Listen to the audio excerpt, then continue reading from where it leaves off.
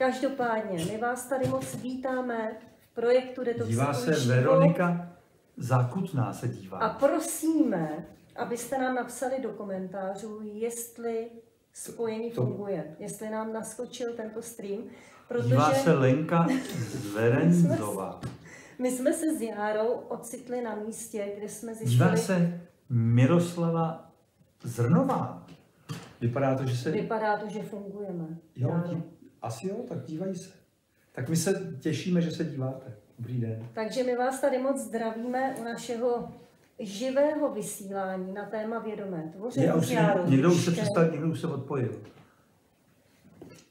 Odpojil nebo Ne, ne, připojil? nestalo se to, ale mě- mně by se líbilo, jak tam přeskakují ty lidi, že se dívají. Kdyby tam nešlo být jako, že se už nikdo se nedívá, že se odpojil, odešel.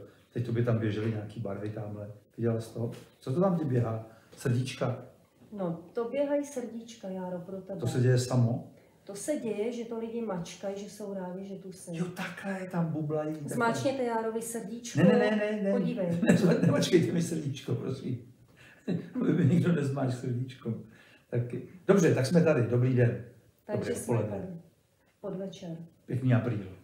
My vás tady moc vítáme u dnešního živého vysílání na téma vědomého tvoření života.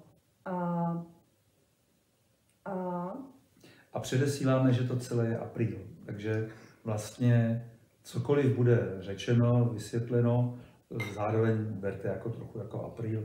Takže nic z toho neberte úplně vážně. Samozřejmě, ale je to celé vážně myšleno, to je jasné.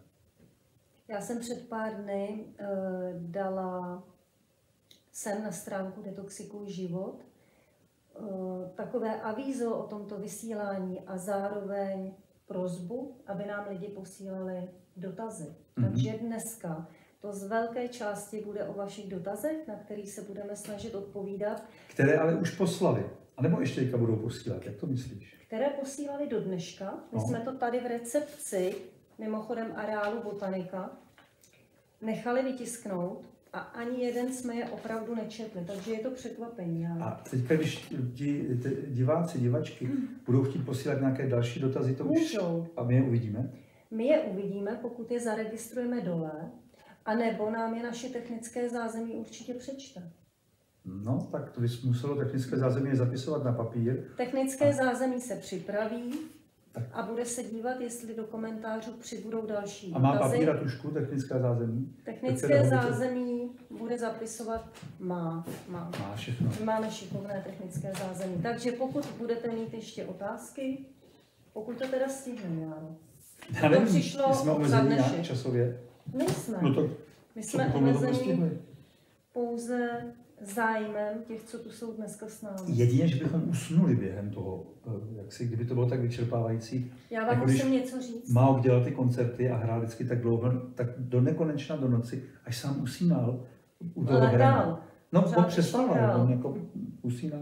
Lidé usínali, takže můžeme skoro jako aprílové vysílání do toho usnutí, do nekonečna, až se nebude dívat vůbec nikdo A my budeme spát. a my usneme. A nebo si vlezeme tady do vany, protože tady, milé diváčky a diváci, v tomto pokoji je vana v obýváku, která mě fascinuje. A vy, já jsem navrhoval, abychom vysílali z té vany s Bárou, protože takov, taková příležitost není každý den, ale nějak jsme ji pak nenapustili nebo něco. Možná v nějakém záběru bychom ji potom mohli ukázat. Na závěr. Na závěr, na závěr švenkneme na vanu. Na závěr vám to ukážeme, protože první, co bylo, když Jára přišel do dveří, je, že jsme mohli vysílat z té vany. To jo. To jsme mohli. To To jsme měli. mohli. To jsme měli, no. Protože máš barvu vlasů, Počkej. v barvě toho dřevěného obložení té vany, takže by to bylo úplně... Ale já tě přeruším na No. chvilku. No, Jo. já zatím tak jenom melu, že pořád se někdo připojuje, tak, tak si říkám, že ještě tam nejsou všichni. Připojuje se hodně lidí. Tak zatím tak jako, no tak jako tady tak dobře, tak povídáme. je, dobře, tak O já na úvod řeknu dvě zásadní informace. Počkej, to ale neslyšejí všichni právě. Ty Ale zásadní. uvidějí v záznamu. Dobře, To Tak vidí- jo, tak to, tak to To řekni. je jako, my máme s Járou konečně datum křestu mojí knížky. Křtu. Křtu, křtin.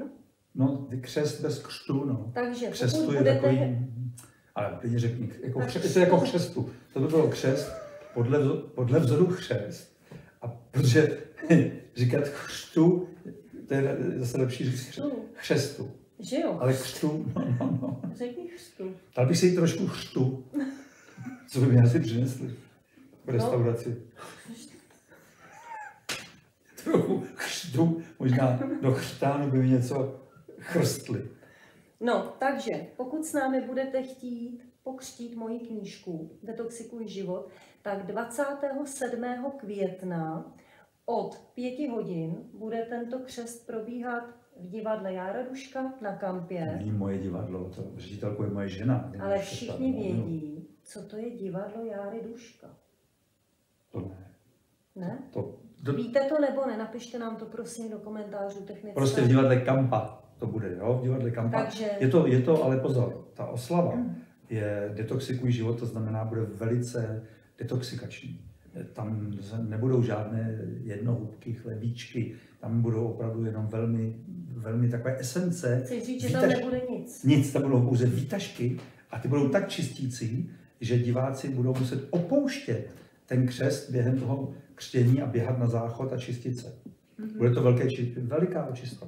Takové květnové čistění, čištění. No, každopádně všechny podrobné informace budou na webu detoxikujživot.cz a budou i na vašem webu. No tak jde. Takže kdo budete chtít, tak se dozvíme. A máme z technického zázemí info, že máme zesílit na hlase. Na hlase. Takže se Jestli nás neslyšíte, tak to je opravdový apríl prostě. Tak si děláte z nás apríl.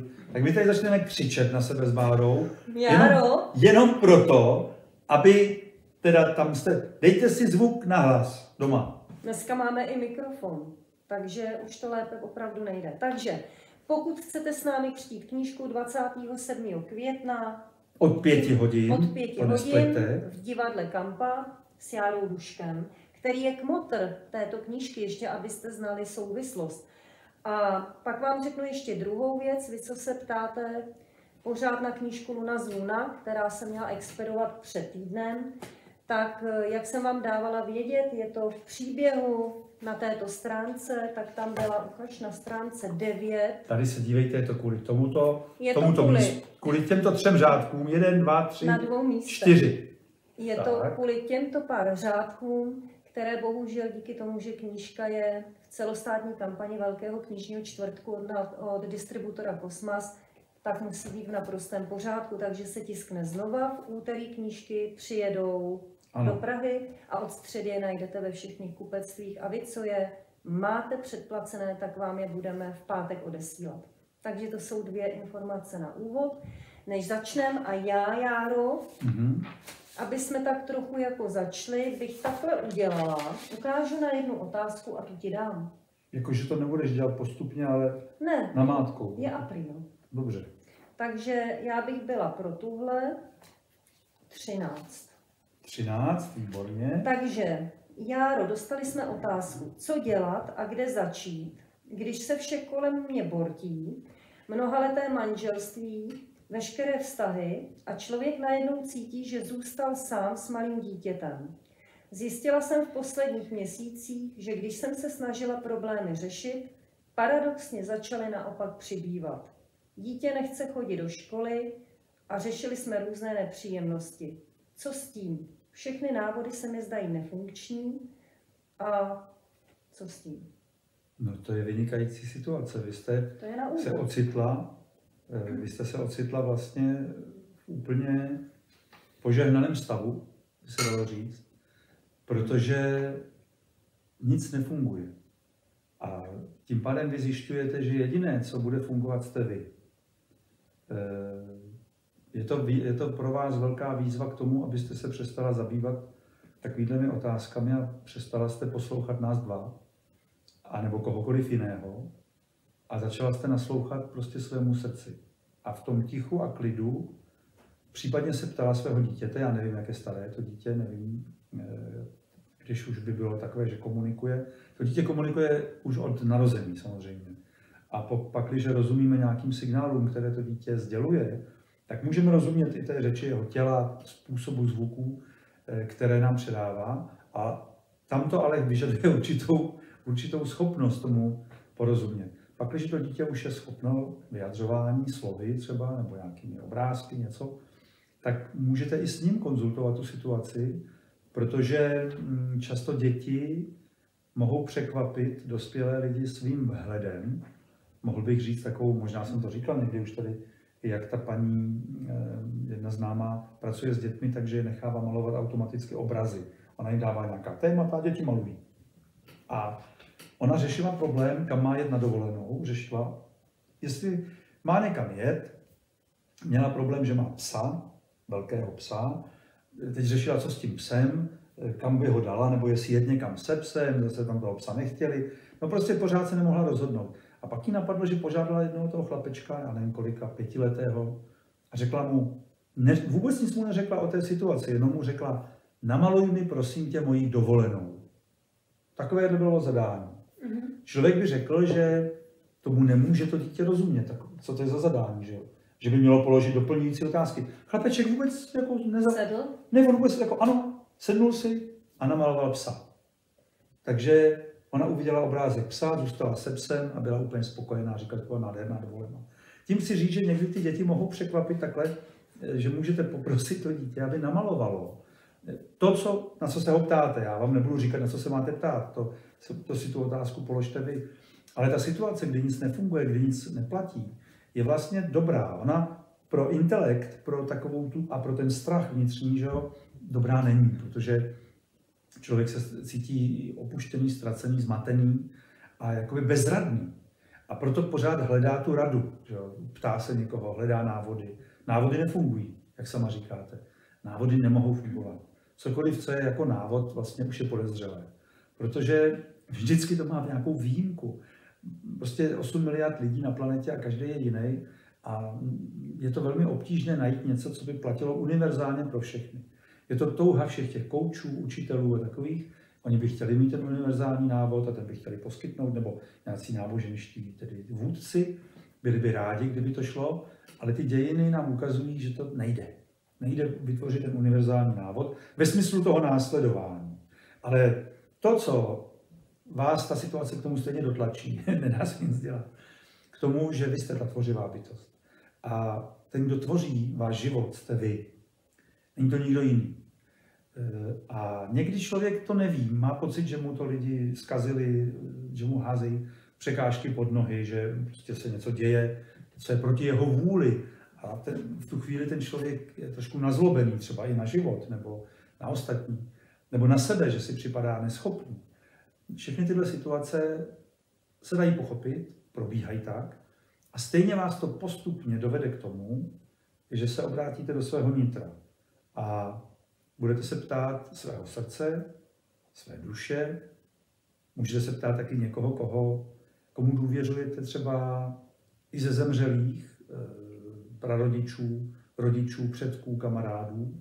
Můžete ve snu přivolat nějakou bytost, poprosit večer před usnutím, aby přišla s vámi třeba konzultovat nebo rozprávět někoho, koho úplně máte ze srdce ráda. Jo? Někoho, eh, kde, kde je úplná důvěra kde víte, že tam z toho prostoru neuslyšíte nic eh, nevhodného. Bude to zrcadlo jenom vás, vás samé, ale budete mít třeba pocit, že vám někdo radí. Tak třeba jste tak založená, že chcete, aby vám někdo radil. No a prostě postupně to povede k tomu, že budete naslouchat svému nitru tomu dítěti, tomu děcku, a že zpomalíte a zpomalíte až tak, že vám to bude připadat nemožné takhle zpomalit, protože ta situace bude na vás pořád tlačit představou, že se zpomalit nedá a že se musí něco řešit. A sama jste řekla v tom úvodu, v té otázce, že problémy, které jste se pokoušela řešit, jenom narůstají. A já si myslím, že to je ten důkaz toho, že to, čemu věnujete pozornost, to roste. To, roste, to prostě cítíte. A když se pustíte do problémů, tak ty problémy budou narůstat. To je jako v té pohádce, kde usekáváte ty hlavy tomu drakovi a jemu vždycky narostou dvě potom, když mu useknete tu hlavu. A zase mu narostou dvě. To nemá řešení, ten boj, to způsob, jak to řešit.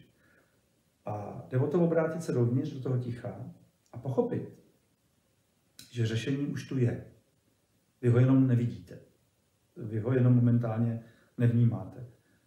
Život pro všechny situace má řešení. Prostě tak to je.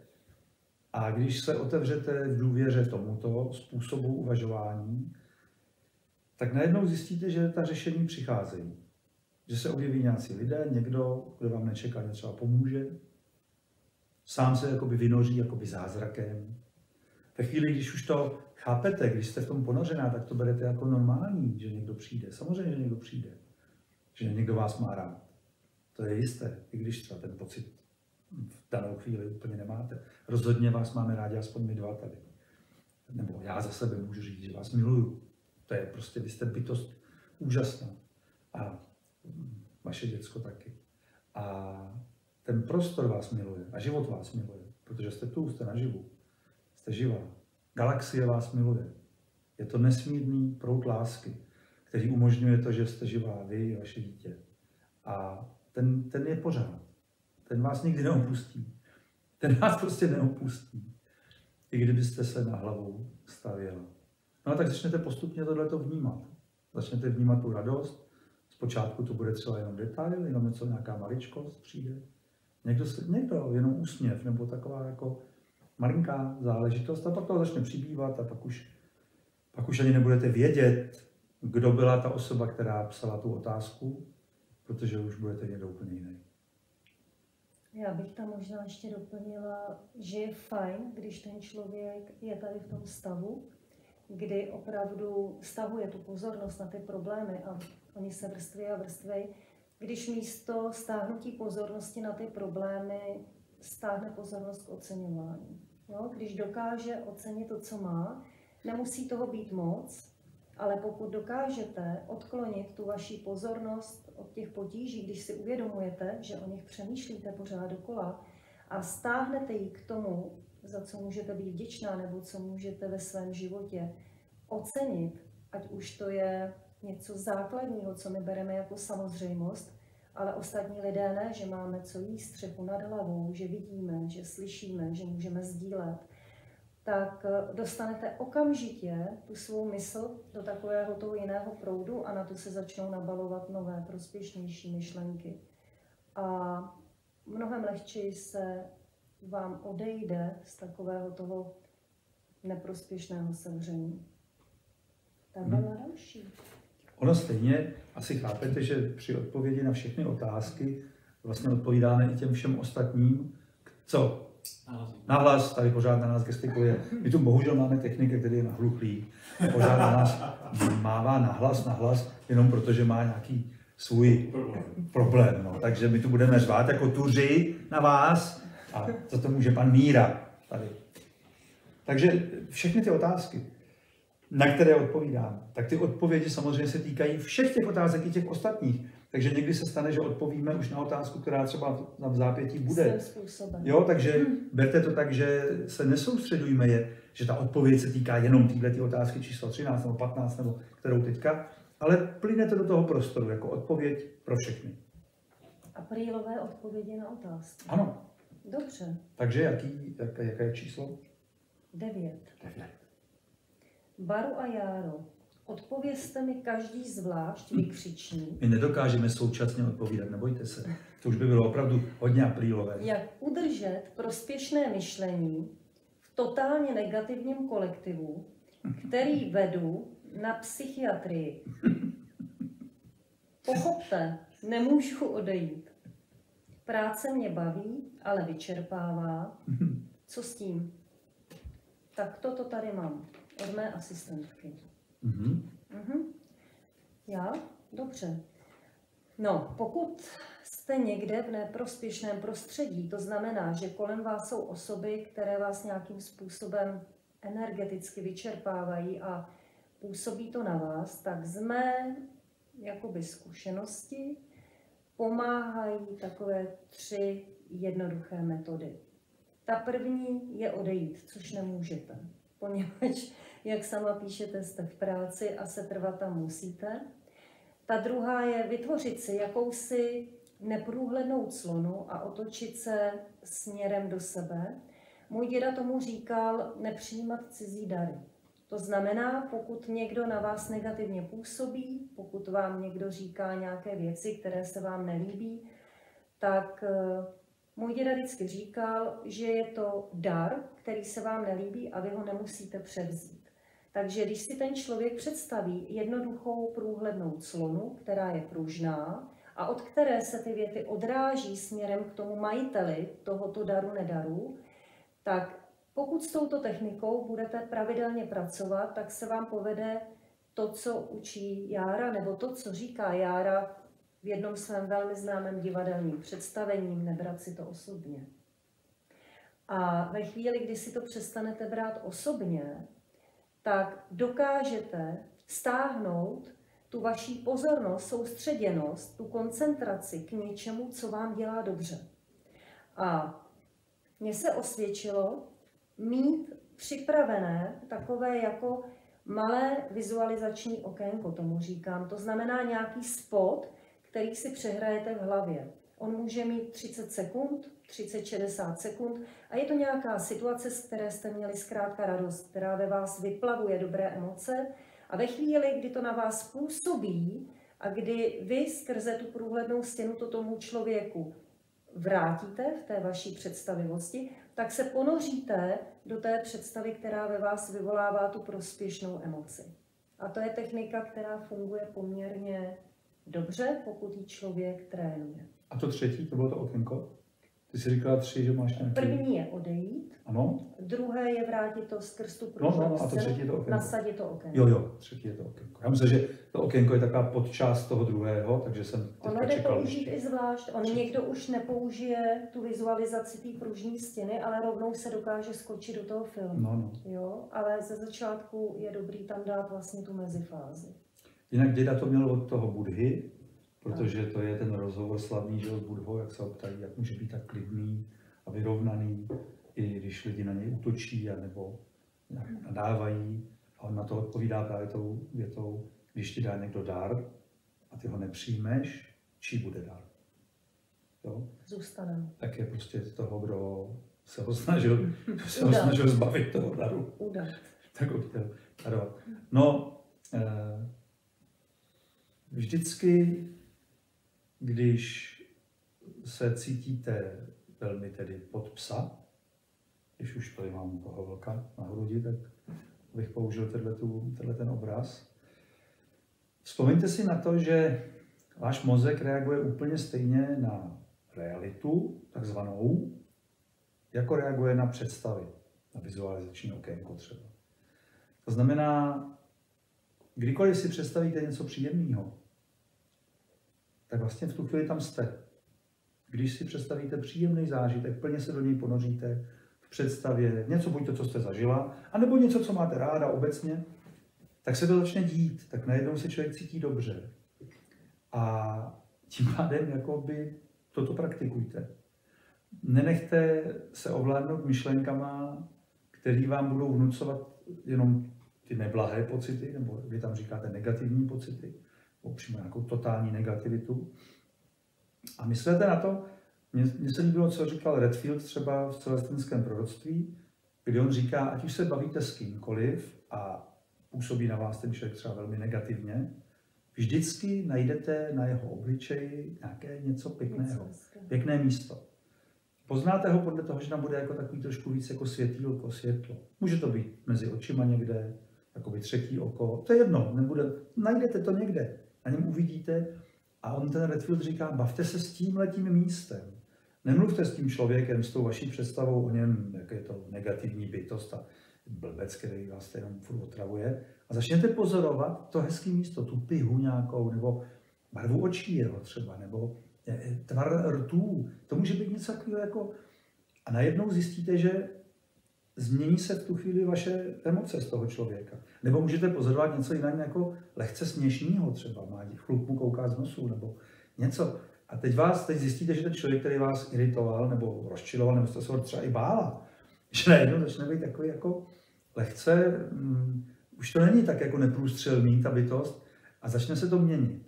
To znamená, využívejte schopnosti svého mozku, že může reagovat na ty představy, na to, co vy si představujete, ať je to buď to vizualizací, ale to může být ve zvuku, v čichu, to je jedno. To můžou být představy jakéhokoliv typu, podle toho, jaký jste typ, že někdo je vizuální typ, někdo spíše na ten sluch. Se třeba zaposlouchejte do jeho hlasu. A jenom třeba zjistíte, že v tom je nějaká niance v tom hlasu zajímavá, nebo že zajímavě říká nějakou samohlásku, jednu z těch samohlásek třeba, že něco tam říká zvláštně, že to je zajímavé. Nebo můžete ho vnímat energeticky, že jo, nějaký určitý typ energie, třeba z toho srdce, co tam proudí, jestli to srdce je zavřené nebo není. A uvědomte si při tom, když se bavíte s těma lidma, kteří jsou vám třeba protivní, jestli náhodou nezavíráte svoje srdce. Protože to je ta zkouška jakási, že jo? Protože když je nám dobře, když se cítíme dobře, no tak to je, to je snadný, jako, že člověk je hezký a mít otevřené srdce a důvěru a mít pocity. Ale teď jde právě o to, toto udržet ve chvílích, kdy není úplně tedy člověku hej, přicházejí nějaké náročnější momenty v životě a člověk přesto udržuje otevřené srdce. A to srdce nelze udržet otevřené, když podléháme myšlenkám o tom, že jsou tam nějaký blbí lidi nebo, nebo někdo negativní. Je to ten zvláštní moment, který třeba trénují zenoví mniši, že se učí milovat všechny lidi na planetě. A bez výjimky. Bez výjimky. Tam nemůže být výjimka. Uh-huh. Je to konec konců ta věta, kež jsou všechny bytosti šťastné. Prostě všechny bytosti. Bez výjimky. Žádný nějaký, že někdo ne, protože se provinil nebo je takový špatný. Ne, protože dokud nebudou všichni šťastní, no tak, tak vždycky tam bude někdo nešťastný, kdo tam bude otravovat a bude, bude ty ostatní jaksi eh, rušit, bude jim závidět, bude se chtít jim nějak vyrovnat. Kéž jsou všechny bytosti šťastné. A pak je ještě jedno takové cvičení třeba, když vás něco hodně teda deptá a připadá vám to, že to je úplně bezvýchodný, tak David Hawkins doporučuje tu techniku a co potom. Jo, že si řeknete, tohle je šílený, prostě tady, tady já, já se tady z těch lidí zblázním dneska. A otázka je, no a co potom? A vy řeknete, no potom, potom prostě budu úplně naštvaná, budu úplně na hadry teda. A potom? A potom? A teď se ptáte furt potom a potom a tím, už jenom tím to začnete rozpouštět, protože uvidíte, jak člověk uvízl v mechanismu té mysli jenom a zapomněl na to, že něco bude potom. Že to přestane. Jak říká ta jedna známá, vždycky, když v té potní chýši je mi nejhůř, tak si uvědomím, že to skončí. Že to prostě skončí, ono to nebude pořád, to nebude do nekonečna. A už tahle myšlenka dává úlevu a sílu. I když ta situace momentálně třeba je téměř nesnesitelná, tak třeba takovýhle nějaký, eh, dejme tomu, existující možnosti, které můžete, který můžete praktikovat. A pak určitě eh, se vyplácí kdykoliv v životě si vymezit tu minutu třeba na to, že neděláte nic.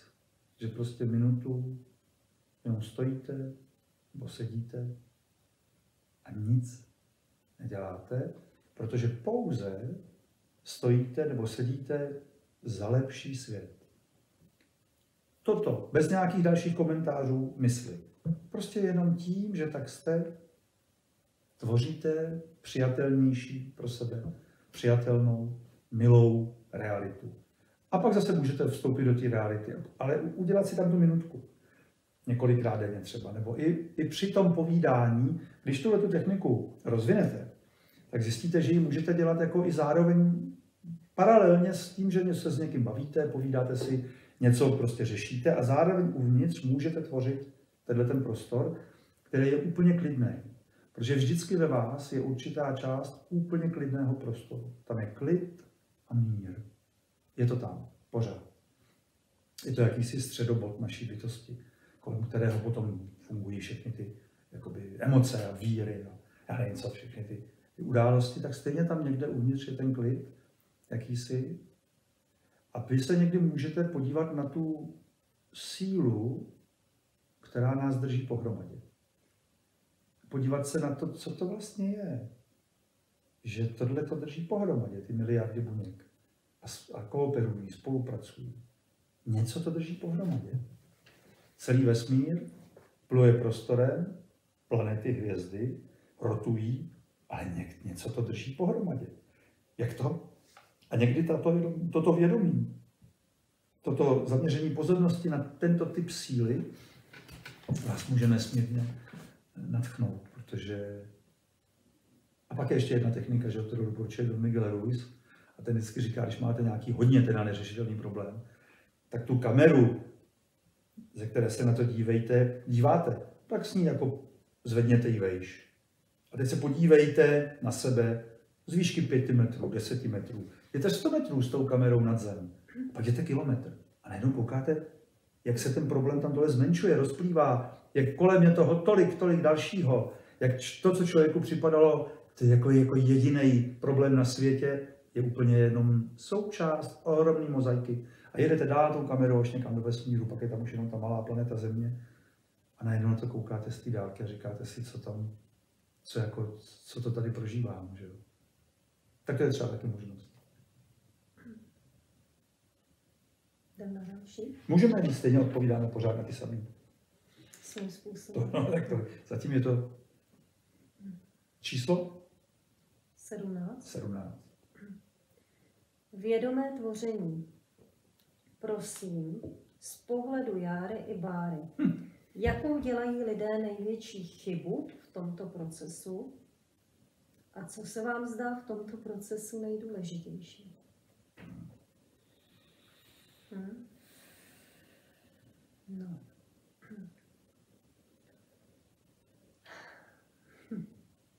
No tak nejdůležitější v tomto procesu nějakého vědomého tvoření z mého pohledu je neochvějná víra. Neochvějná víra, že ten proces tady je, že funguje a víra v to, že ví, jak má fungovat. A k té chybě, co jde nazvat chybou, jo? to je uh, možná, když se lidé příliš ptají, jak, jakým způsobem a kdy. Když uh, si něco přejeme, když máme nějaký záměr, za něčím směřujeme nebo naplňujeme to, co je pro nás niterně důležité, nebo spíš než důležité, protože to se váže trochu k pění, eh, to, co cítíme, tak mi přijde, že spousta lidí se pořád ptá, jak se to stane a kdy se to stane. Že nedokáží nechat tuto odpověď na tom zdroji. Že místo, aby pluli tak nějak v tom souladu směrem k tomu poslání, k tomu, co prostě po čem touží a věděli, že to přijde, a v té víře dělali věci, které cítí, že mají dělat, tak se velmi často obrací ven, místo sami do sebe, do světa s otázkou, jak to přijde, jakým způsobem, kdy to přijde a vytváří se mnoho pochybností už jenom tím, že si zároveň rovnou odpovídají, že to nemůže přijít, protože tohle a tohle, že se to nemůže stát, protože tomu nic nenasvědčuje. A čím víc hledají těch odpovědí na to, jakým způsobem a kdy, tím víc vlastně pomalu obcházejí tu cestu, která by z mého pohledu velmi jednoduše plynula k tomu naplnění. Já myslím, že největší chyba ve vědomém tvoření je zaměřovat pozornost na chybu. Že eh, to právě jak si je, je, co tam chcete vědomě tvořit, když budete se přehrabovat v chybě. Já jsem jednou zažil situaci, kdy cvičili studenti tai chi pod vedením výborné číňanky Fengin Songwaytové a povšiml jsem si, že tam jeden ten člověk dělá chybu, že tam prostě dává blbě nohu a že ona ho na to vůbec neupozorňuje. A on tam pořád cvičí jako tu chybu a, a ona, ta, která to přece musí vidět, a já jsem držel takových to, jsem to tak pozoroval zvenku, to tajči. Taky jsem to trošku jako zkoušel cvičit, ale říkal jsem si, co, že ona to nevidí, nebo ho nechá být takhle. A pak jsem si na to zeptal. Když to skončilo, tak jsem mi říkal Fengin, proč si mu neřekla, že eh, on tam dává tu nohu špatně. A ona odpověděla tehdy, jak tak Číňani někdy odpovědí, odpovědí, někdy je důležité cvičit chybu.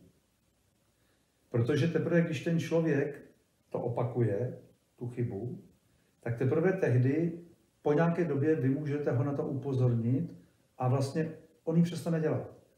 Když příliš brzy opravujete chyby, když, tak se vlastně nehnete z místa. Jo? Když já nevím, budete chtít hrát tenis a teď vezmete raketu a teď vám někdo bude říkat chyba, ne, nohu takhle, ne, rameno tam, pozor, musíš mít vejš tu raketu, musíš jít dopředu. A teď vám dá příliš mnoho pokynů a bude se soustředit na ty chyby, tak vy nic neuděláte. Jo?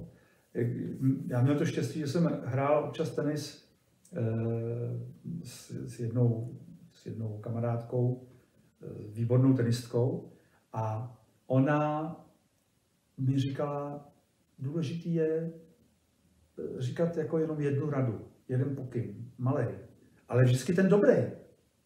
To, jo, jako zůstaň nohama dole, nebo jo, prostě to, co udělat, ne to, co nedělat.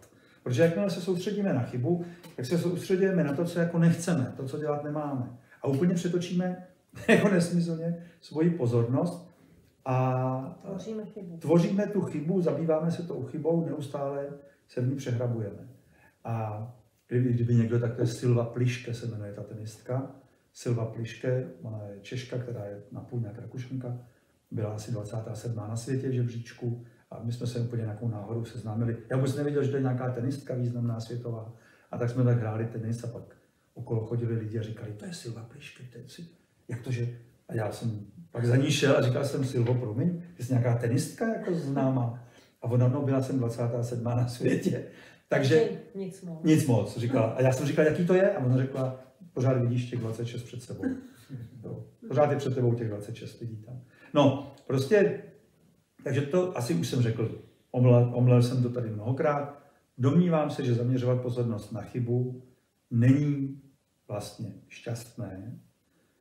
A připomněl bych výrok mých předků, s kterými jsem se setkal v Mexiku, v Teotihuacánu, kdy na mě volali a oni volali, nezlobíme se na tebe pro žádnou chybu, protože sami jsme jich v životě udělali spousty, ale máme nesmírnou radost, když se ti něco podaří. A to jsem si z toho tehdy vzal já pro sebe, že, že mám radost, když se něco daří a příliš se netrápím tím, když se stane nějaká chyba, protože vím, že prostě to, to, se, to se děje. Na tom není nic, na tom není nic složitého.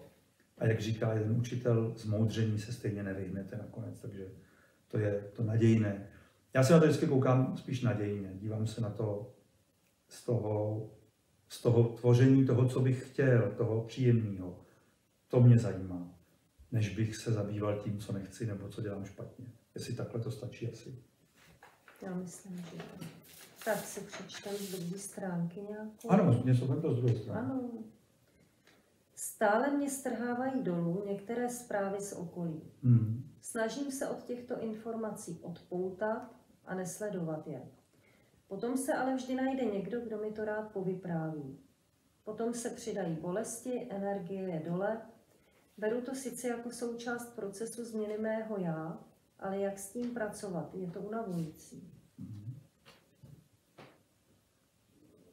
No, možná, že tady by byla ta lapidární odpověď moje milovaná, jak přijde člověk za mistrem, za šamanem mm-hmm. a právě mu vypráví zhruba něco takového a on mu odpoví, tak se změňte. Nebo rozhodněte se, že se změníte. No. To je na začátku. Protože... Já vím, takhle se to kecá, že jo, to je jasné. Ale je v té fázi každý v nějakém jako životním období, že jo? A pokud už je to naléhavé, a pokud se to děje dlouhou dobu, a pokud se to děje dlouhou dobu stejně, tak je opravdu možná čas udělat ten krok dopředu malinko razantněji, rozhodnout se, že takhle už ne a udělat nějaký důležitý krok. My jsme no. dneska mimochodem, já mám hezký příběh tady, my jsme dneska řešili uh, s jedním velmi, velmi milým člověkem uh, takovou věc, že nějakým způsobem se snaží na sobě vědomě pracovat tímto způsobem a děje se mu to, že často lidem říká nepravdy. A říká, mu, říká ty nepravdy proto, protože mu to v danou chvíli přijde jednodušší pro tu druhou stranu.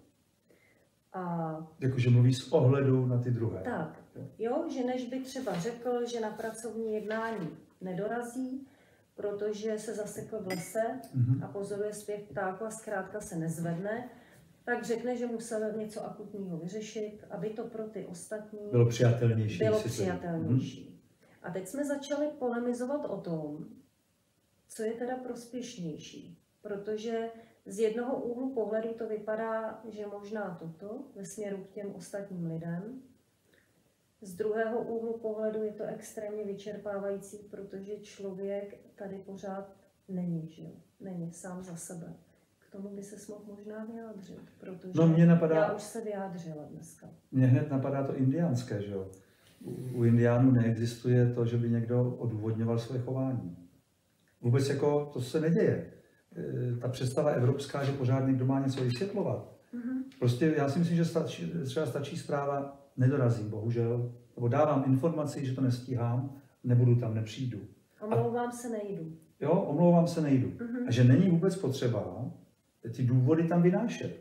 My máme nějaký záchvat evropský, se mi zdá, teda takový ty naší civilizace. Proč tam nepřišla? Co se stalo? Vysvětli mi to. Prosím tě, ty jsi tam s námi nešla? Teď tam všichni byli. To si, to si nemohla hnout tím zadkem. No, a pak si, ještě dál, proč ti nechce? to, přesně tak. Jo. A tohle to všechno u těch indiánů není. A to já na nich miluju. Mhm. A to bych tam hned jako dal jako to, to první, že nejsme povinni Vysvětlovat. ostatním vysvětlovat důvody našeho chování, Mhm. protože u těch indiánů se ví, že každý člověk má nějaké dobré důvody pro své chování, pro svůj postoj, ale to jsou jeho důvody. A indiáni chápou, že já nemusím chápat důvody druhého člověka. Já jenom přijmu to, že on to nějak má. To je, možná bychom mohli připomenout, já říkal jsem to toho Daniela Everetta s tím zastřeleným psem, Ne. tak to neříkám. můžeme tady říct, že to je vynikající. Eh, Daniel Everett, najdete si ho na YouTube, má tam krásné příspěvky.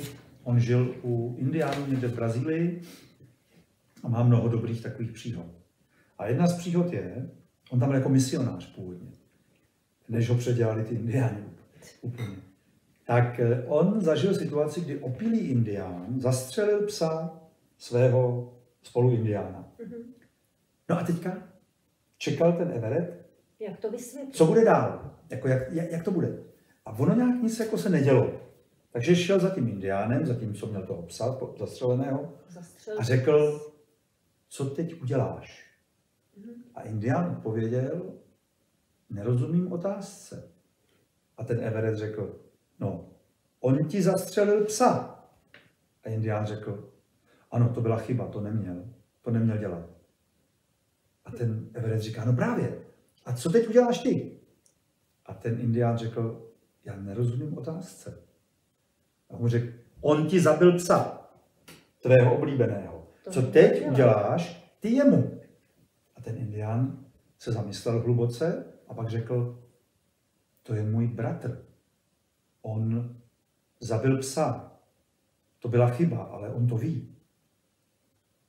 No, A tím to a tím to končí. A to je pro Evropana, že nemožný. To, tomu, to takhle to nemůže končit. To bude soud a hádka a vyrovnání a finanční a újma za psa, kolik A byla pomsta. újma a do toho a pomsta a právníci a bude oko za oko, ble, ble, ble, zub za zub, že jo, tohle. A tam u těch indiánů vidíte ten mír v té duši, to byla chyba. On to dělat neměl, ale on to ví. A to stačí. Jo? A my, to je to, co nám chybí, abychom mohli mít vnitřní klid. Protože tady je ten klid, to je ten klid, ze kterého to vychází. A já ne, protože proč bych dál, jednou říkali autisti výbornou věc, jeden autista říkal, já se nehádám, protože hádka není logická. To je ono. Proč se hádat, když je to úplně nelogické, lidi na sebe křičí a říkají si nějaký výtky, výhrady, pak to berou zpět, pak se omlouvají, že to tak nemysleli, že prostě já se omlouvám, to víš, že mě to tak jako ujelo, protože v tu chvíli jsem ble, ble, ble, ble, ble. A když zůstaneme v tom klidu, tak si odpustíme všechny tyhle ty věci předem. My vůbec je nemusíme potom omlouvat zpětně. Ušetříme spoustu Ušetříme slov spoustu slov, energie, spoustu času a hlavně právě energie. ušetříme spoustu té energie. No. A ještě tam bylo něco, jak, co- jak to bylo v té otázce? Ještě pro, připomeň mi to, prosím tě. Uh, Eh, Tam bylo ještě něco, co, co jsem chtěl říct hned na začátku a nechtěl jsem ti skákat do řeči. Stále mě strhávají dolů. Ano, už vím, dobrý. Eh, Myslím, že klíčové je si uvědomit, že to jsou vaše myšlenky, kdo to dělá. Ne ti lidé. To je totiž jedna ze základních jako bodů techniky, kdy pochopíte, že váš vnitřní stav vytvářejí vaše myšlenky, ne nějaký lidi. Vaše myšlenky o těch lidech to dělají. Vy máte dojem, že ti lidi říkají něco, co vy nechcete, nebo že dělají něco, oni vás vtáhnou zase do problému, který vy nechcete. Oni by vás tam nikdy nemohli vtáhnout, kdybyste to nechtěl. To nejde. Jo. Kdybyste se nenechal. Pravidlo Ruizovo je, nikdy vás nikdo nemůže zneužít víc, než zneužíváte vy sebe sama. Pak, když někdo překročí tuto hranici vašeho sebezneužívání, tak se bráníte už. Jo? To znamená, oni jsou někde na hraně, ti lidé vaší hranice, a vy si najednou uvědomíte, proč tohle to dovolíte. No, protože se máte málo ráda. Kdybyste se měla ráda, tak vůbec nedovolíte nějakým lidem, aby vás jako vtahovali do nějakých svých problémů, do nějakých svých dramat, protože vy se máte ráda a vyslechnete je, dobře, oni to řeknou a to je všechno. Jo, a dál to není. Dál není žádná reakce, vy nejste povinná reagovat na nějaký lidi. To je prostě evropská cvokatura spočívá v tom, že jsme jako naučení ze školy, že pořád máme na něco reagovat. Co myslel básník básní? Co myslel tam ten? Jak jsi to myslel? Děti, co to bylo? Proč jste to udělali? Jo? A pořád se řeší nějaký myšlenkový důvody spontánního chování, který často ani vlastně žádný důvody nemá, protože tam pracuje často emoční tělo a to emoční tělo začne jednat jako za vás, jedná velmi rychle.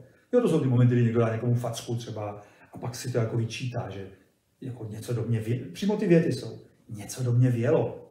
Nebo jo, najednou, najednou jsem ztratil hlavu, já jsem, nebo já vůbec nevím, co jsem to udělal, já se omlouvám. Jo. A to jsou ty momenty, kdy my vlastně už to ani nejsme my.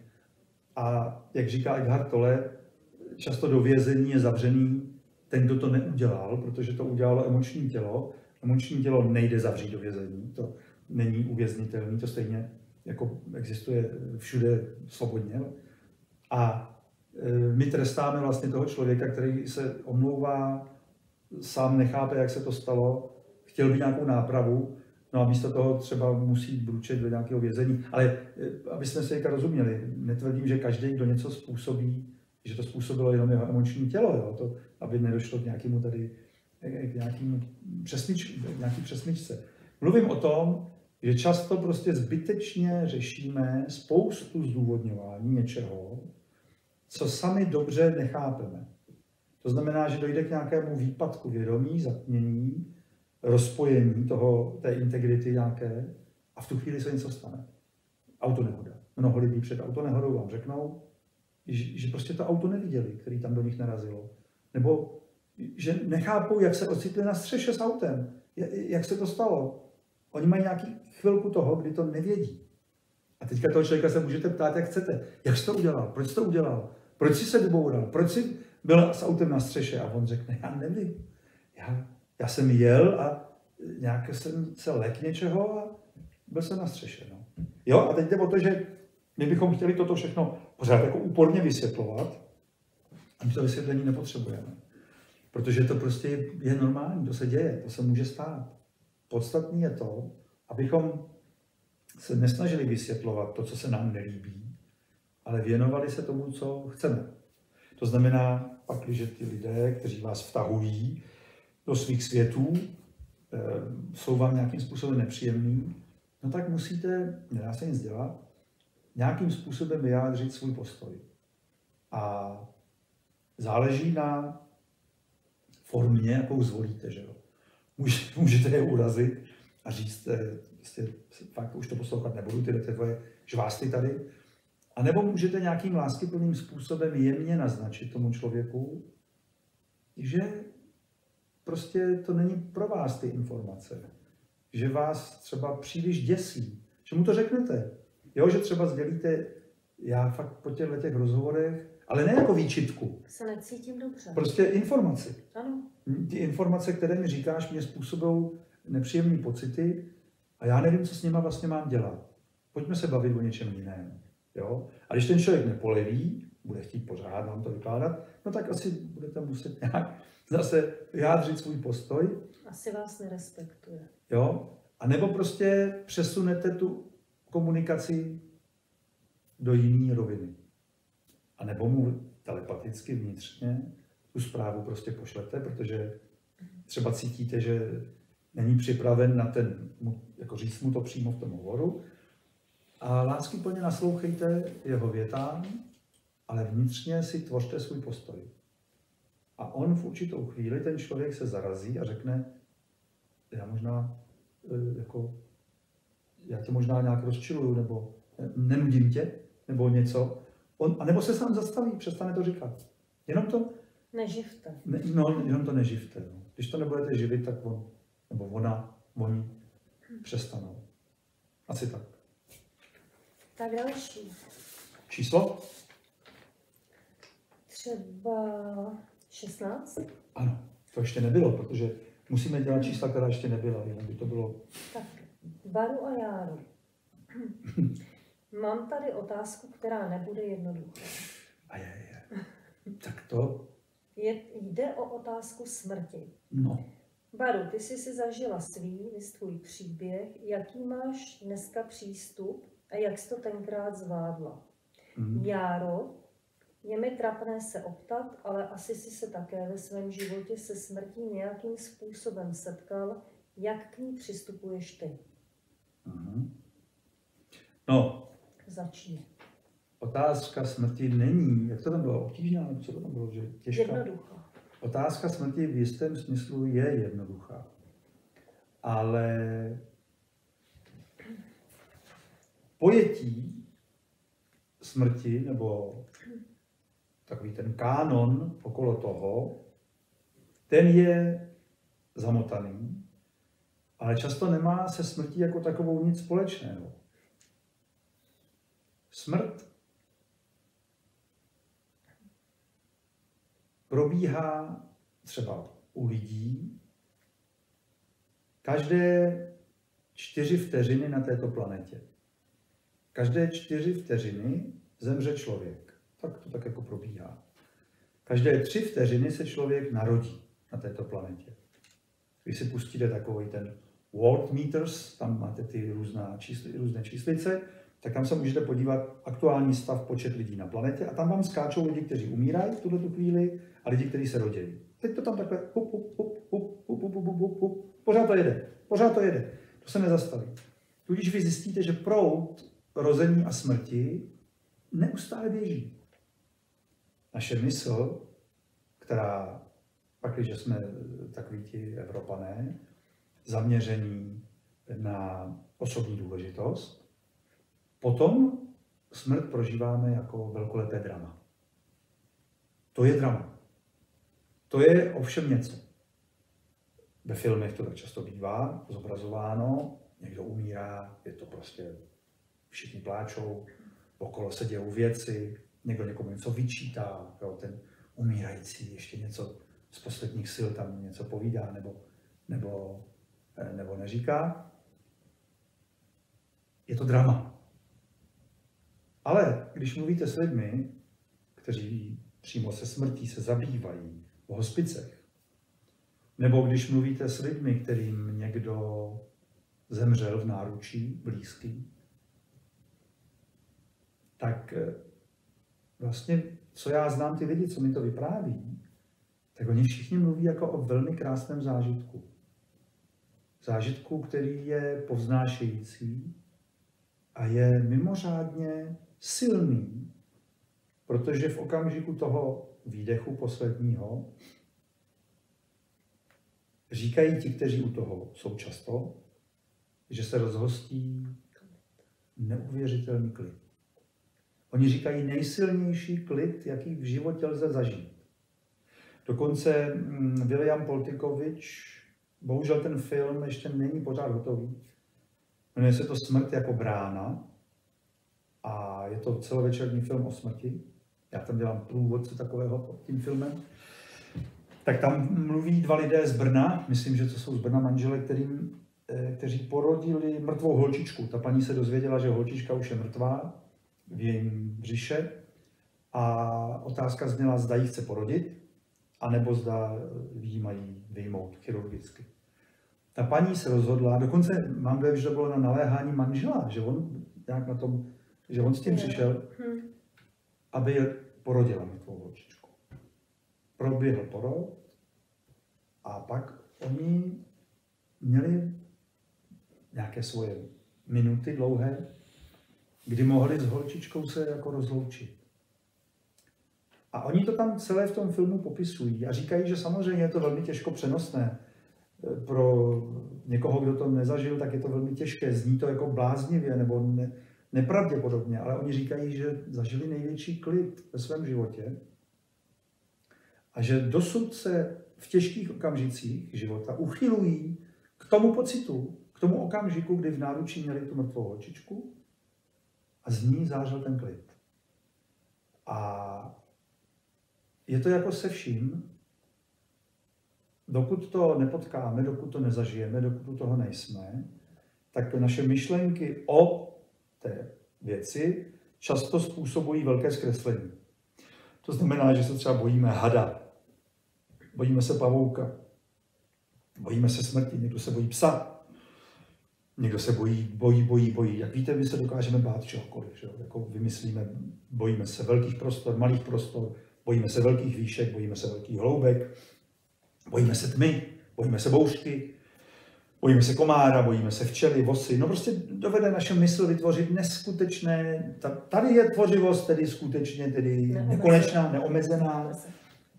Strach fantasticky tedy rozkošatělý na planetě. Ale pak, když se setkáme s reálnou situací a třeba někdo má hada krotkého, hodného a dá nám ho do ruky, my ho pohladíme, tak zjistíme, že není slizký, to nás překvapí, protože v naší mysli z nějakých důvodů je had slizký, ale mokrý takový jako, ale on není slizký, že? A najednou třeba ten strach zmizí. Při té skutečné situaci, ne při té myšlenkové situaci. Takže já si myslím, že to, co je zapeklité, co je složité, jsou myšlenky o smrti. A ty myšlenky často jsou založeny na nějakých zkreslených pocitech, filmech, dramatech, tak jak se to prožívá. A tím nás matou. Smrt jako taková, jak říkám, probíhá třeba v našem těle neustále, kdy buňky odumírají, jednotlivé buňky těla odumírají, pořád odumírají buňky těla, pořád, denně odumírají buňky těla a tělo si tvoří buňky nové. My většinou nemáme tendenci vystrojit pohřeb za každou buňku zemřelou našeho těla, že bychom tedy prožívali drama, že tam cítíme, že to je nesmysl, ono to je pořád. Že?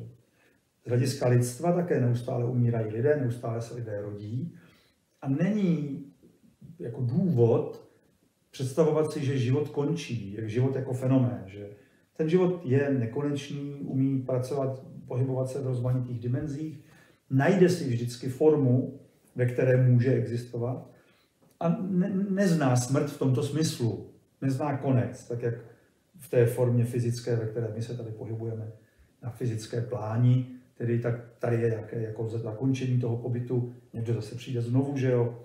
E, Existuje pár lidí, kteří zdá se úplně nezemřeli, tak jak jako se považuje za správné, a nějakým způsobem odešli s tělem a dokážou se navracet. Může to být považováno za smyšlenku, za nesmysl, ale prostě jsou lidé, kteří zakoušejí takové zážitky, popisují je, jsou o tom knížky úžasné. A ti lidé, kteří jak si vypovídají o těch zážitcích, no tak se zdá, že úplně nemluví nesmysly. To znamená, že něco tam na tom bude, že asi, asi ta naše představa o tom, o té smrti je pouze, řekněme, zase jenom zvyková. Je to nějaký zvyk. Já když jsem byl na pobytu ve tmě, tak jsem se mnou rozmlouval takový had nějaký veliký, moudrý had, obrovský. A on mi tam v jednu chvíli říkal, vy jste si zvolili to rození člověka z člověka, to postupní a to umírání, ale to není jediná možnost. eh, Jak život se může manifestovat vlastně sám sebou, jako by vůlí. Jo? Můžeme si o tom myslet zase, co chceme. Říkám to jenom jako příspěvek do debaty, o, do toho vějíře myšlenek o smrti, abychom pochopili, že různé tradice také o smrti smýšlejí různě.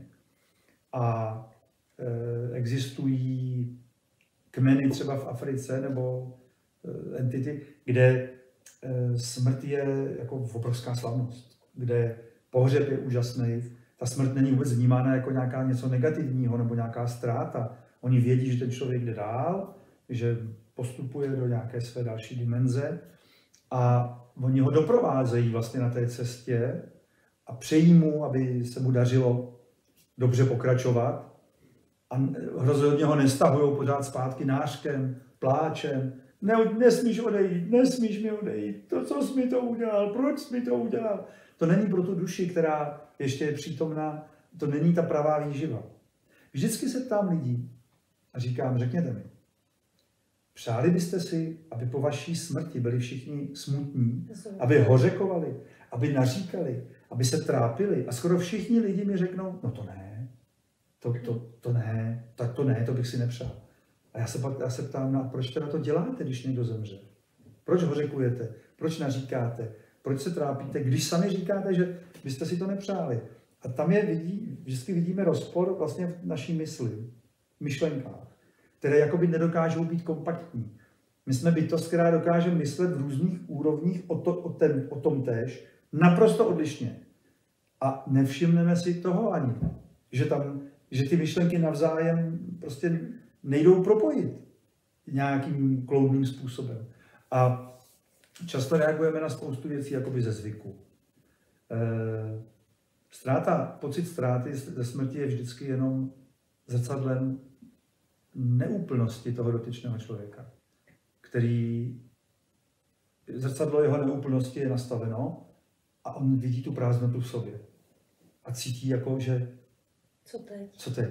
Jinými slovy dá se říct, jestliže váš pocit štěstí je závislý na existenci nebo neexistenci nějaké věci nebo člověka, pak to není úplně šikovné. Pocit štěstí je vnitřní pocit. Vyvěrá jako plamen. Vyvěrá z bytosti. Ten není jakoby závislý na tom, jestli něco máme nebo nemáme, nebo jestli někdo žije nebo nežije. Ten nemá s tím, co dělat. Pocit štěstí je stav proudícího života, toho proudu. A ten, ten je přítomen, ten je pořád. Jo? Jenomže my často podléháme těm myšlenkám, podléháme tomu zvyku, podléháme názorům. Takže znovu u té smrti bych řekl, pojďme přímo do prostřed in medias res a připomeňme si, že indiáni to řeší tak, že procházejí smrtí, šaman provede ve věku 10-12 let, provádí ty jinochy a dívky jejich smrtí Oni projdou smrtí a vrací se zpátky. Šaman je volá, volá je jménem. Někdy třeba je nepřivolá, někdy se stane, že tam zůstanou. Ale ti, kteří se vrátí, zakusí pocit vlastní smrti. A proto, se, proto říká Měslav, že zelený a Tapana, že ti indiáni se pak nebojí ničeho. Oni, oni to projdou, oni ten zážitek mají už. Oni se nebojí smrti, protože ji prošli. Jako zasvěcovacím vrcholným rituálem v nějakém věku, kdy na tom Prahu té takzvané dospělosti. A ti indiáni to řeší takhle šikovně. U nás často to řeší lidé m, jako nešťastně, jako hoch, který mačetou zabil teď nějakého učitele. Tam je vidět, že tam není vůbec zvládnutý fenomen smrti, pochopení smrti. Protože tím, že někoho zabijete, vůbec nevyřešíte žádný problém. Ani svůj, ani jeho. To, to, to je iluze myšlenek. Ten problém je v mysli toho člověka, v myšlenkách. Ten nesouvisí s existencí nebo neexistencí někoho. My jsme příliš závislí na vnějším světě a naše výchova je založena na vytažení pozornosti zevnitř ven a neustále připoutávání, to je to, to je ono, to je pták, to je strom, to je máma, to je táta, to je oko, to je nos. Pořád je tažená ven pro pozornost. A nikdo se neptá, co to s tebou dělá? Když jsi teď ve styku s tím fenoménem, který mu říkáme letící pták. Co se děje v tvý duši, když to pozoruješ?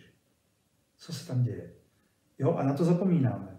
A tím pádem jsme tak vytažený ven do těch jednotlivých fenoménů, že jim potom dovolujeme pořád, aby leptali náš vnitřní stav, aby nás jaksi strhávali do nějakých emocí, které se nám nelíbí, které nechceme, A my pak to vyčítáme těm fenoménům, těm okolním lidem, protože úplně zapomeneme, že ta tvorba, ten pramen toho štěstí je v nás, vevnitř.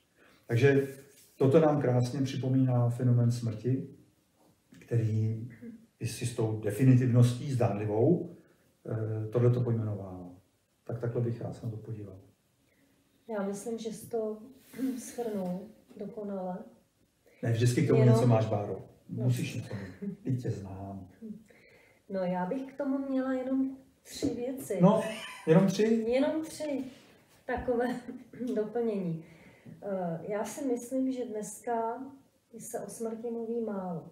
Jo, já bych to viděla tak, že lidé by do toho fenoménu měli opravdu víc prostoupit.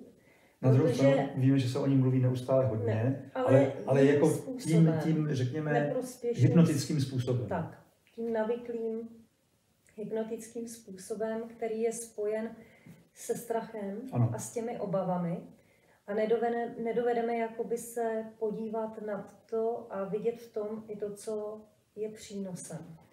A moje babička říkala, je to, že jo, je to před pár lety, že bylo běžný, že když někdo zemřel, tak ležel doma. Jo? Její tatínek a potažmo sestra, která umřela na záškrt v šesti letech, leželi doma v síni pod nějakou plachtou. Maruška tam teda byla velmi krátkou dobu, protože záškrt byla infekční nemoc, takže pohřeb proběhl rychle. Ale tatínek tam ležel zhruba 6 dní v té ledové chodbě, kde se netopilo. A děti vlastně kolem něj chodili ven a běžně s ním komunikovali a říkali ahoj tatínku, protože bylo běžný to vědomí o tom, že ta duše se odpojuje nějakou dobu. To znamená, tatínek tam byl a oni chtěli, aby ta jeho cesta byla jako milá. A oni jo? děti mohli i vidět. Příjemná. Oni ho i viděli. Oh.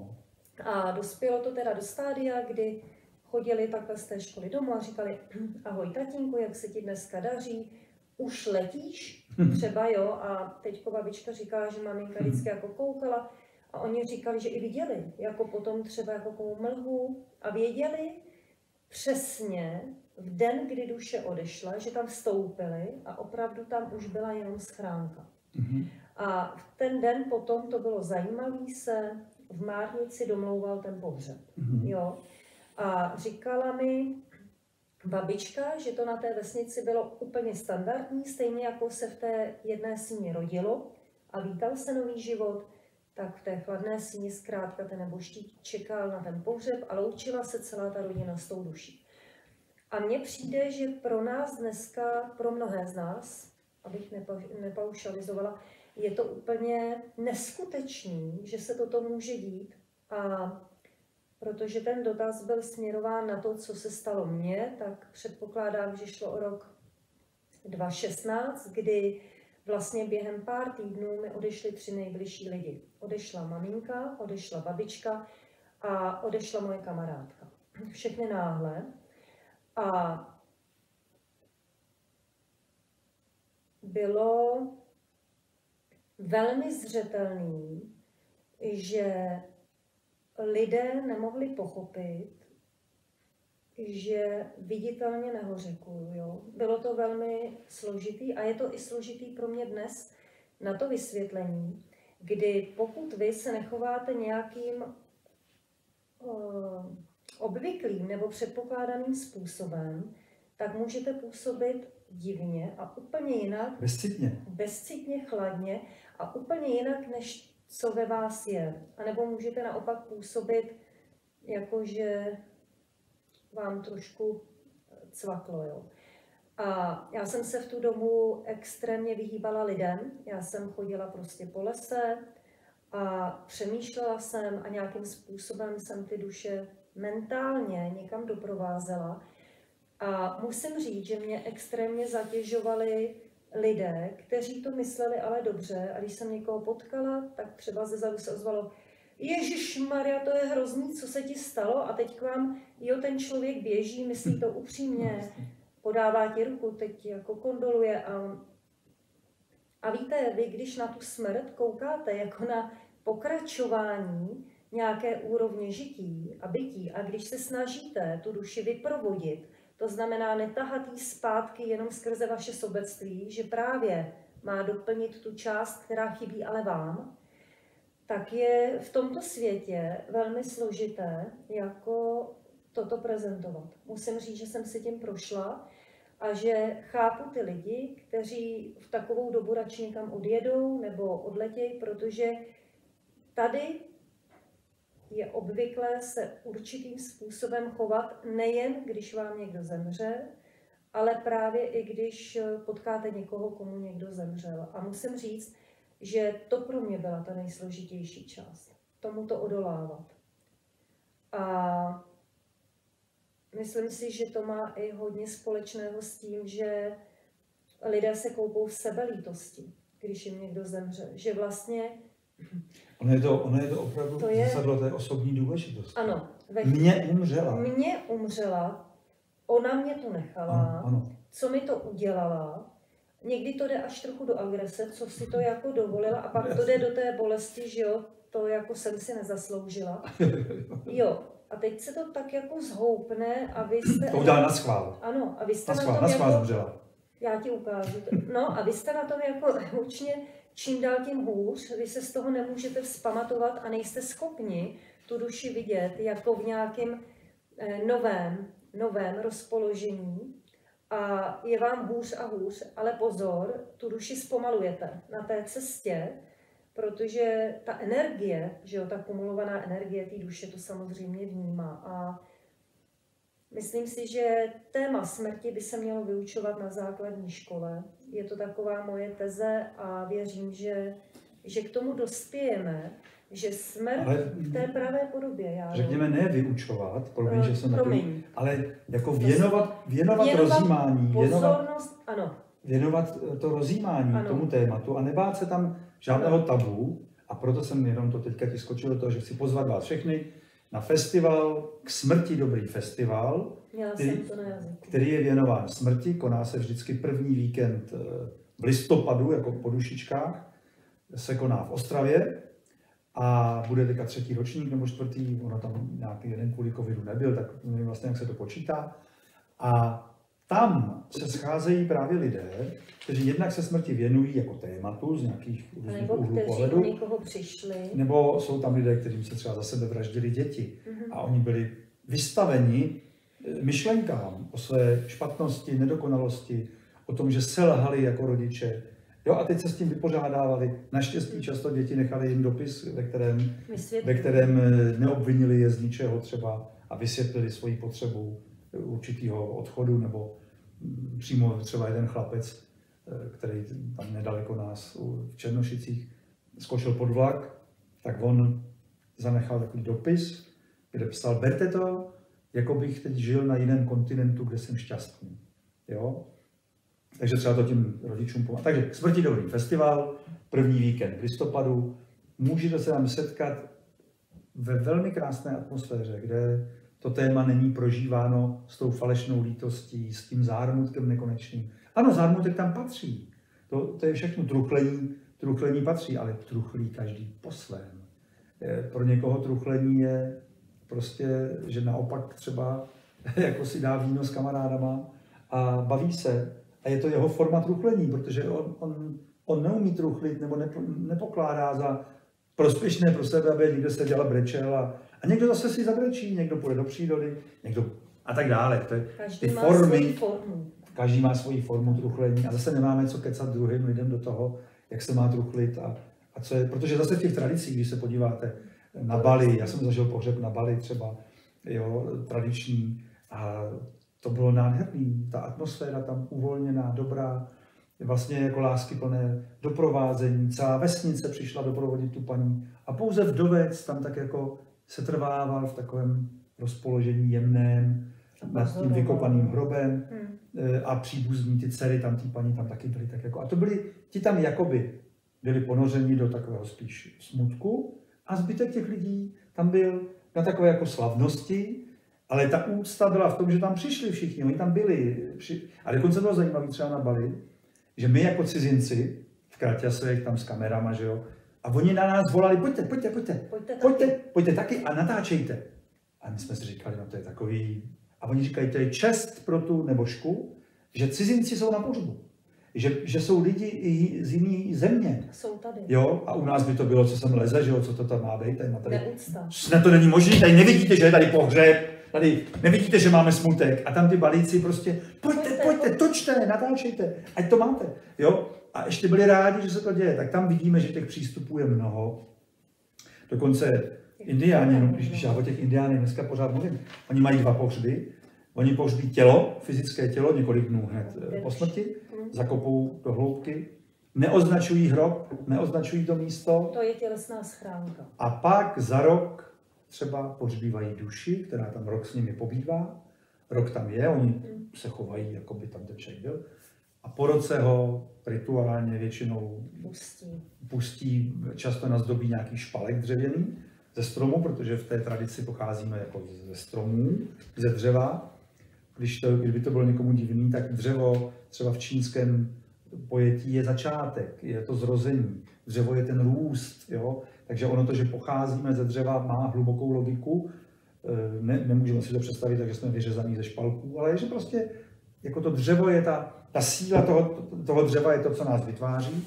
A oni ozdobí špalek, nazdobí ho, nabarví, hodí ho do Amazonky a nechají ho jet zpátky do toho oceánu, aby se ta duše vrátila zpátky do toho oceánu. Toho. A tím mě ještě to připomíná jednu věc, že připustíme-li nějaké takové koloběhy životu a tak, tak my jsme tady všichni už mnohokrát po smrti. Mhm. To je právě to, to mě vždycky na tom baví, že všichni už jsme po té smrti tady znovu. A pěkně to funguje, Bůh ví pokoliká. Bůh ví pokolikáté. A to je třeba představa, která nás může osvěžit a může nám jako odlehčit tu tíži, tu představu tíhy, eh, tíhy smrti. Takže smrt vnímám spíš jako odlehčení, než jako, než jako zátěž.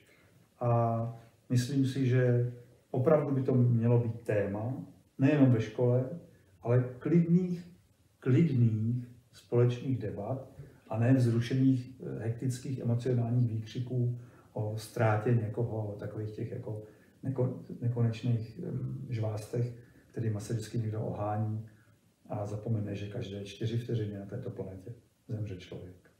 Mimochodem mi vyprávěla jedna stařička paní po přednášce, že se těší, až zemře. Ne, že by jako tomu šla naproti, ale že až se to stane, že se těší a byli tam různí ostatní, co tam tak postávali, říkali, jako proč a jak se můžete těšit a paní se tak jako koukla, taková fakt šarmantní dáma, 80 letá, plus minus a říká, příště to udělám lépe.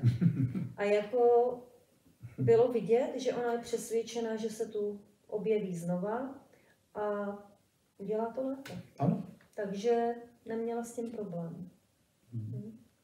A pak je výborná kniha od Jana van Helsinka, Kdo se bojí smrti, kdyby vás to téma zajímalo. Zajímalo. Takže jdeme na další otázku. Dáme si třeba 20. Mhm. Hmm. No. Hm. To je asi pro odlehčení a je teda směřovaná na tebe, Járo. Járo, hm. poraď a rychle. Mhm. Jsi připraven? Ano. Začal jsem si poměr s ženou mého bratra. Mhm. Necítím se v tom dobře.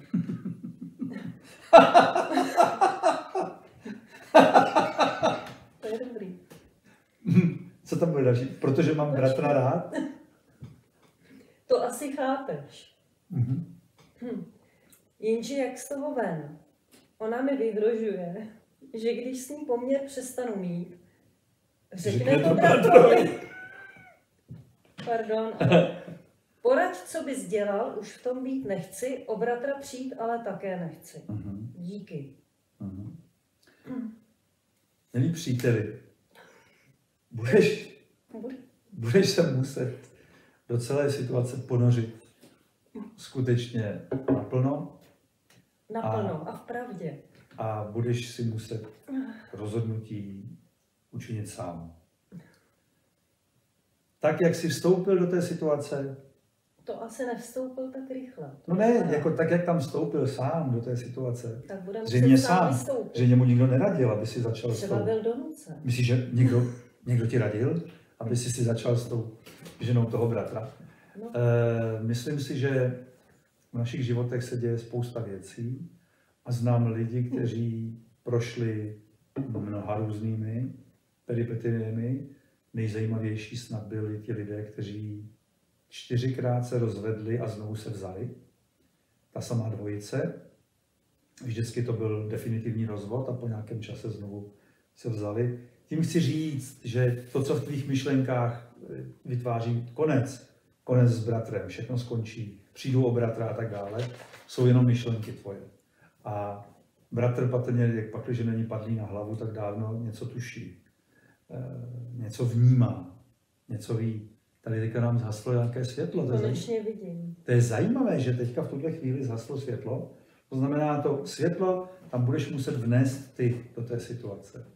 A jako radit ti, co máš dělat, opravdu nejde, protože neznám tu, neznám bratra, ne, neznám bratra, neznám tu, neznám ani jeho ženu, neznám tebe, takže co já ti mám co radit, jo. Nicméně si myslím, že pravda, pravda je něco, co stojí za to vyzkoušet a někdy zdánlivě ta, ta, ta, ta situace, která vypadá, že něco ukončí, může nakonec ve výsledku ještě utužit tu situaci. A něco nového přinést. A něco nového přinést. To znamená, musíš si to sám teďka teda v sobě přechroustat a e, nějak se s tím popasovat. Pak, když ti v tom není dobře, ty říkáš, že ti v tom není dobře, kdyby ti bylo dobře, tak, tak, tak co, tak, tak si pokračuj tam ve svých eskapádách. Dokud ti bude dobře. Dokud ti bude dobře. Ale pak, když ti dobře není, tak ti nezbývá, než asi dát nějaké karty na stůl. Způsobem, způsob, jakým to uděláš, jestli to uděláš ve snu, ve snění, v meditaci, v přímém rozhovoru, v nějakém jako... To, to, to je tvoje řešení, to, to už do toho ti nemá co to mluvit, ale asi nezbývá, než ty karty na stůl v tom obrazném slova smyslu eh, vyložit, protože jinak ta situace dál tě bude leptat a, a, a ničit. No. A řeknu ti, že ta láska k té ženě, která ti vyhrožuje, eh, hm, no, asi, asi si trochu naletěl. Její láska k němu také. No, bude asi zvláštní. Jak jsou někde výhrůžky, jak jsou někde podmínky pro jakýkoliv vztah, to nemá tak, s láskou nic společného. Tak to nemá s láskou nic společného. Tak je to obchod. A nezbývá ti, než přestat se sebou obchodovat. Držíme palce. Ano. Tak, jdeme na další otázku. Hmm. Něco zajímavé, na co se lidé ptají. Máme tady hezkou otázku mm-hmm. teď. Jak přesvědčit tělo, aby se uzdravilo samo? Přej si to. Ano. Pokud vy, pokud vy uvidíte sebe jako zdravé bytosti, ve zdravém těle a opravdu to tak budete vnímat, tak se to tak bude dít. My k tomu máme ještě járo dovětek. Baru, kdy jsi, byla naposledy, kdy jsi byla naposledy nemocná, a Járo a ty, tak já musím říct, že to je jako blbý říct, jo. Ale já nejsem nemocná. To znamená, kdyby šlo jakoby opravdu o poslední... Není to už druh diagnózy? Tady jo, v tomto světě, no. Ale jestli se bere jako nemoc třeba chřipka nebo něco takového, tak to bude třeba 30 let. Naposledy já u doktora mám nemoc jako nějakého takového charakteru někdy v pubertě. Od té doby si na nic jiného nepamatuju. Jak to máš ty? Takže ona má prostě chabou paměť, ne, to se dá nic dělat. Já, pak, když bychom se bavili jako o takové té jako nemoci ve smyslu, že člověk je přemožen něčím, té, nemá tu moc, takže přijde ta nemoc, tak to bylo někdy před uh, do období covidu, kdy jsem... U doktora. Co? U doktora. Asi, že bys měl... Ne, u doktora, jsem, u doktora jsem nebyl. Normální nemoc, jako kterou ti doktor potvrdil. To takhle? Mm-hmm. No to ne. To, Tak teď budeš divnej taky. Tak To... kdy? No ne, tak je, to, to, to je, já, já jsem od roku 1991 jsem přestal používat jakékoliv léky, Mhm, to máme. takže vlastně od té doby uh, jsem nebyl. Nebo já jsem byl u doktora na nějakým eh, takovým tom vyšetření, No. že musíte třeba kvůli filmu uzavíráte smlouvu a oni chtějí kvůli pojištění, že máte nějaký zdravotní stav, tak jsem byl na nějaké kontrole. A u zubaře jsem asi byl. Jo, to, to jsem byl. U zubaře jsem něco řešil, trhal mi zub. Takový zub, který už tam nějak prostě byl Nechtěl být. No, on už byl poraněný z mládí, tam, byl nějak, tam došlo k nějakému zlomení vlastně toho kořené toho zubu a ještě tam zanechala zubařka kousek toho drátku čistícího, jak se pak ukázalo po asi 20 letech, kdy už tam ten něco hnilo pod tím zubem, už to tam bylo blbý, tak mi ho pan zubař třeba vytrh. Tak to jsem byl, ale jako teda u doktora, u zubaře. To ano. No ale jinak takovou, jinak ne. No. Jo, stalo, stalo se mi, že jsem v době covidu tři dny a tři noci spal. Protože když něco takového přichází, to oslabení, tak já to řeším půstem a spánkem Mhm. a piju vodu. Takže to, to bylo někdy, to už je zase rok nebo kdy, já se nepamatuju přesně. A tam jsem prošel, ale bylo to takový trošku i na to moje takový přání, protože jsem si říkal, že, že budu to mít takzvaně prodělané, tak, eh, Tak se to stalo. tak, tak Tak jo. si to v klidu prodělal. Takže, takže jsem si tři dny a tři noci spal. Ale to bylo jako jediný problém, který tam byl, že, se, že prostě ten spánek, jsem to nechal to tělo, ať si to vyřeší. Jinak já bych na toto téma určitě doporučila dušika s doktorem Šulou, protože ta byla opravdu povedená a pokud vás eh, zajímá tahle věc, tak si myslím, že, že stojí za to tuhle dušika zhlédnout. A znovu bych se tam ještě vrátil k tomu jednom bodu, jo? že to, co je nemocné, není tělo, ale ta mysl. Jo? To znamená, nejde o to přesvědčit tělo, že je zdravé, ale tu mysl, jak si tu mysl přivést k tomu, aby si uvědomila, co dělá, když vytváří tu nemoc. Proč vlastně ji tam tvoří? Proč, eh, proč ji potřebuje? Protože ona zase ta nemoc může něco dobrého i přinést. Jo? Ta, ono není potřeba ji vidět jenom jako něco negativního. Ona může, jak se říká, nemoc je pořád nejlepší způsob, jak se tělo drží naživu. Je to nejlepší způsob, kte- kterým ono reaguje a dává zprávu té mysli právě o tom, že něco ta mysl tam vede nesmyslně. Styl života, způsob sebezničujícího třeba nějakého Uvažování. Taky uvažování sebezničujícího. Takže bych zase tu pozornost sunul do té mysli, do těch myšlenek, kde je zdroj toho oslabení těla. Tělo jako takové samo o sebe mm, jakoby je zrcadlem toho, toho co, jak, my, jak my o sobě smýšlíme. Jo? Takže znovu a znovu bych se vracel k té samé myšlence, kterou tady říkáme celou dobu. My jsme tvůrci. Všeho. Je třeba si uvědomit, kam zaměřujeme pozornost svého tvoření. Já bych možná jenom ještě k tomuto tématu, ona vždycky, tahle otázka nese další, No. jestli můžeme uzdravovat jiný lidi. Mhm. A tam bych chtěla říct, že pokud vy dokážete opravdu, opravdu silně v té vaší mentální složce se zaměřit na obraz někoho v jeho vitálním zdraví, tak můžete podpořit jeho uzdravení. Můžete ho můžete mu pomoct svým způsobem od jeho neduhu. Je to malinko taková už pokročilá disciplína, ale velmi dobře to funguje. A nebo, Možná bychom mohli co? tady položit otázku, jestli se mi to dneska povedlo. Máme tu technické zázemí. Ano. No počkej, řekneš ano? Technické zázemí odpovědělo Pojď to ano. říct lidem, pojď tady Já se, nám. já se neukážu, ale řeknu, že mě velmi intenzivně bolelo uh, asi sedm dní v uchu a požádal jsem Báru, aby uh, mě s tím pomohla a musím říct, že ten problém tak z 80% zmizel, takže určitě to funguje a děkuji. Zázemí promluvilo. Zázemí Slyšeli promluvilo, jste dneska hlas zázemí. No a pak jsem chtěl říct, že někdy pomáhá to, že ohromně pomáhá čistě jenom to, že vy jste v pohodě. Že eh, prostě, Jste v klidu. že že vy nemusíte někoho uzdravovat ve smyslu toho záměru, ale že jenom to, že jste v klidu. Nezesilujete jeho problém. Nezasilujete jeho problém. To znamená, jak často lidem třeba pomůže, že jenom přiběhnou děti, které jsou, přinesou dobrou náladu a najednou ten člověk úplně okřeje. Nebo pozoruje něco v přírodě, že jo, co mu dává pocit harmonie. Takže, jak bych to řekl, to uzdravování může probíhat spontánně jenom tím, že vám někdo zahraje krásnou písničku, že vám někdo zaspívá hezky, zatancuje, namaluje obraz, že si s váma popovídá. A nemusí jako vás uzdravovat ve smyslu toho, prosím, prosím, uzdravte mě, já vás teďka tady jako budu uzdravovat.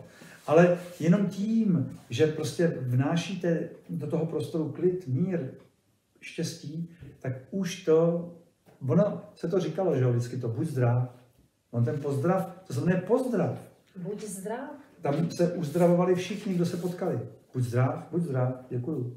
Jo, to uzdravování, to pozdravování, kdybychom si uvědomili, co to vlastně znamená, ten pozdrav, jo, to uzdravení, to slovo buď zdrav, nebo zdravím, zdravím vás, tak vlastně bychom slyšeli, že už to tam říkáme. Nebo že v tom ahoj je taky to hojení, jo, to ahoj, Ahoj. ahoj, jo, i když víme, že to je to ad honorem Jezus taky a tak dále, tak mm, to, mně se tam líbí to hojení, ahoj.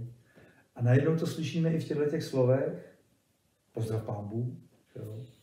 nebo jak říkají Chorvati bok bok, jako Bůh Bůh, jakože jenom, jenom to tam pošlou, jakože to ti, to, ti, to, ti, to ti dávám, to ti, to ti poskytuju, protože to je to nejhezčí.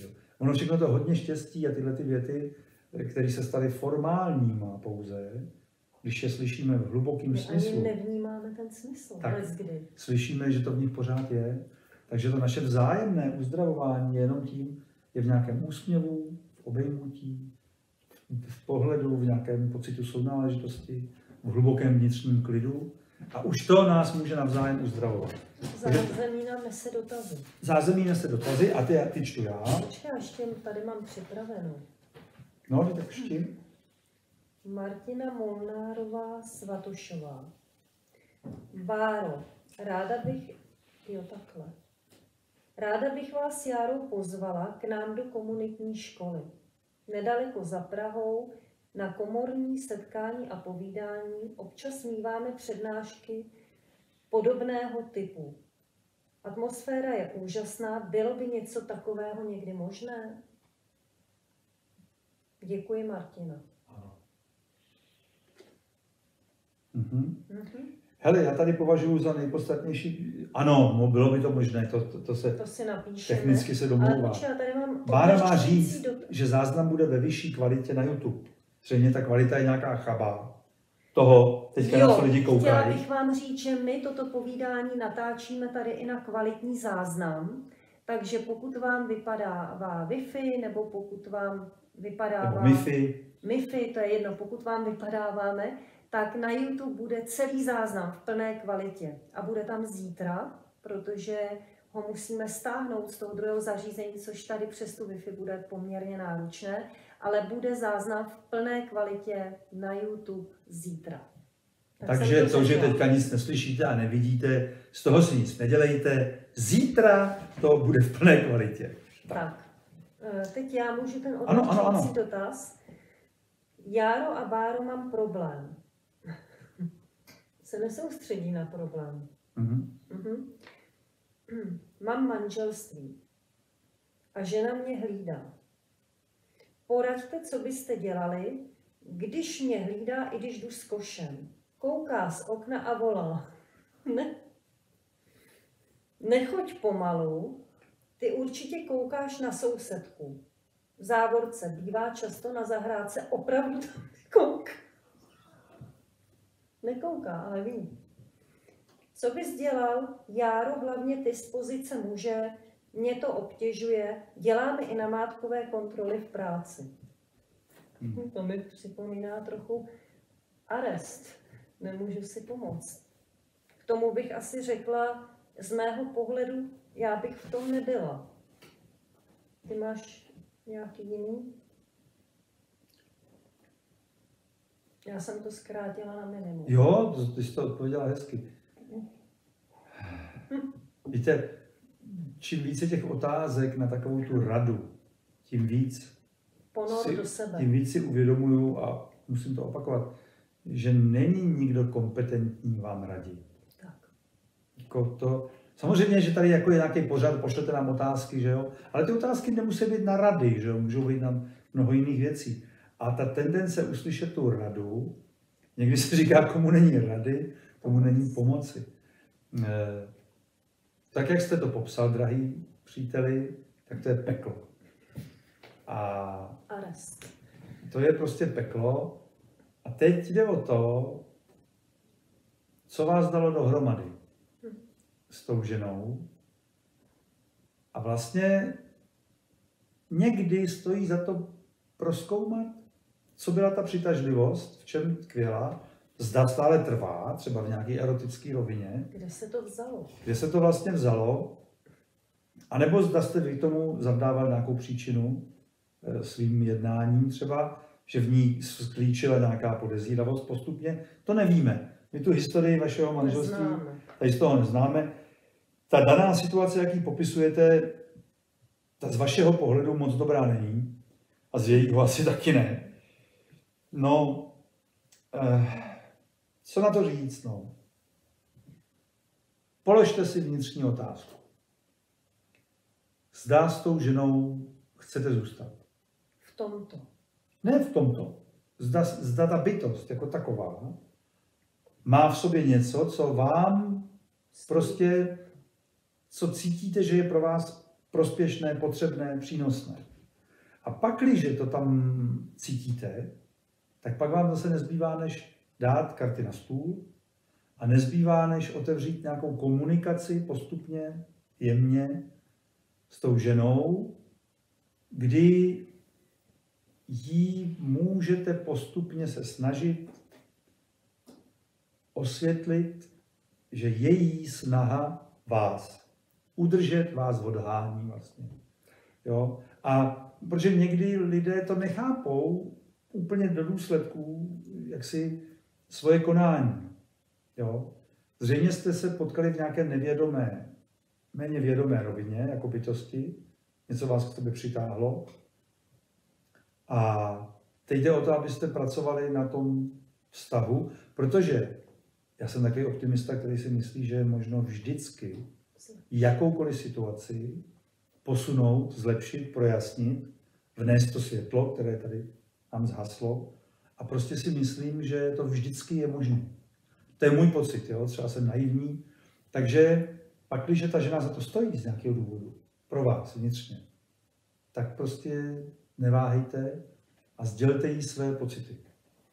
Já bych ještě k tomu vlastně řekla, že pokud vám za to stojí, tak eh, nedávno jsem s jedním klientem řešila techniku Miluju tě. Mhm. A on měl něco podobného, eh, v trochu jiném režimu, ale dostali se do podobného bodu. A on se rozhodl, protože něco mu tam za to stálo, že tomu dá 30 dní a že na každý podobný atak nebo útok jí řekne miluju tě. A že to neřekne ironicky, ale vážně a že jakoby se usměje a nebude to řešit. Ty mě hlídáš, ty mě Mm, mm, pronásleduješ. Ono se to změnilo. Mm. Ono už po těch 14 dnech nejdřív mu nadávala, že si z ní dělá legraci, potom mlčela, pak se prej urážela a zhruba po těch třech týdnech najednou toho nechala. A začala opravdu reagovat na to, co on jí začal sdělovat a co on i se snažil teda procitovat. Ono nestačí to jenom Hmm. verbálně vypustit, ale on se opravdu snažil vždycky si představit, jak se seznámili, mi říkal. Mhm. A za ten měsíc se to úplně otočilo. Hmm. Takže možná, že pokud to pro vás pořád něco znamená, i když vás to teď štve, tak vyzkoušejte techniku miluju tě. To je pěkná. A Pierre jednou vyprávěl, že k němu přišla dvojice, kdy muž se rozhodl a řekl své ženě, já s tebou nechci žít, protože já chci úplně jinou ženu. Já toužím po jiné ženě. A ta jeho žena se změnila a oni spolu zůstali. Ona prostě to pochopila, Mhm. zeptala se ho, jakou ženu, po jaký ženě teda toužíš. A on jí to řekl a ona, ona řekla, Teď to je i můj sen. Tak jo. Já bych taková být vlastně chtěla celou dobu, protože mnoho vztahů je zapleteno do problémů falešných domněnek, že někdo něco nedělá z ohledu k tomu druhému. To znamená, On asi to nechce. to by, to by jí neudělalo dobře, já se nemůžu takhle. A ta druhá zase by, by tak ráda, ale kvůli němu to nechce. A nakonec si ty lidi v záchvatu smíchu si řeknou, co to tady vyvádíme celou dobu, když vlastně každý z nás může být tím, kým chce být Mhm. a, a funguje to. Jo, ale, ale taky je tam ten první krok, že máte rád sám sebe, že jo.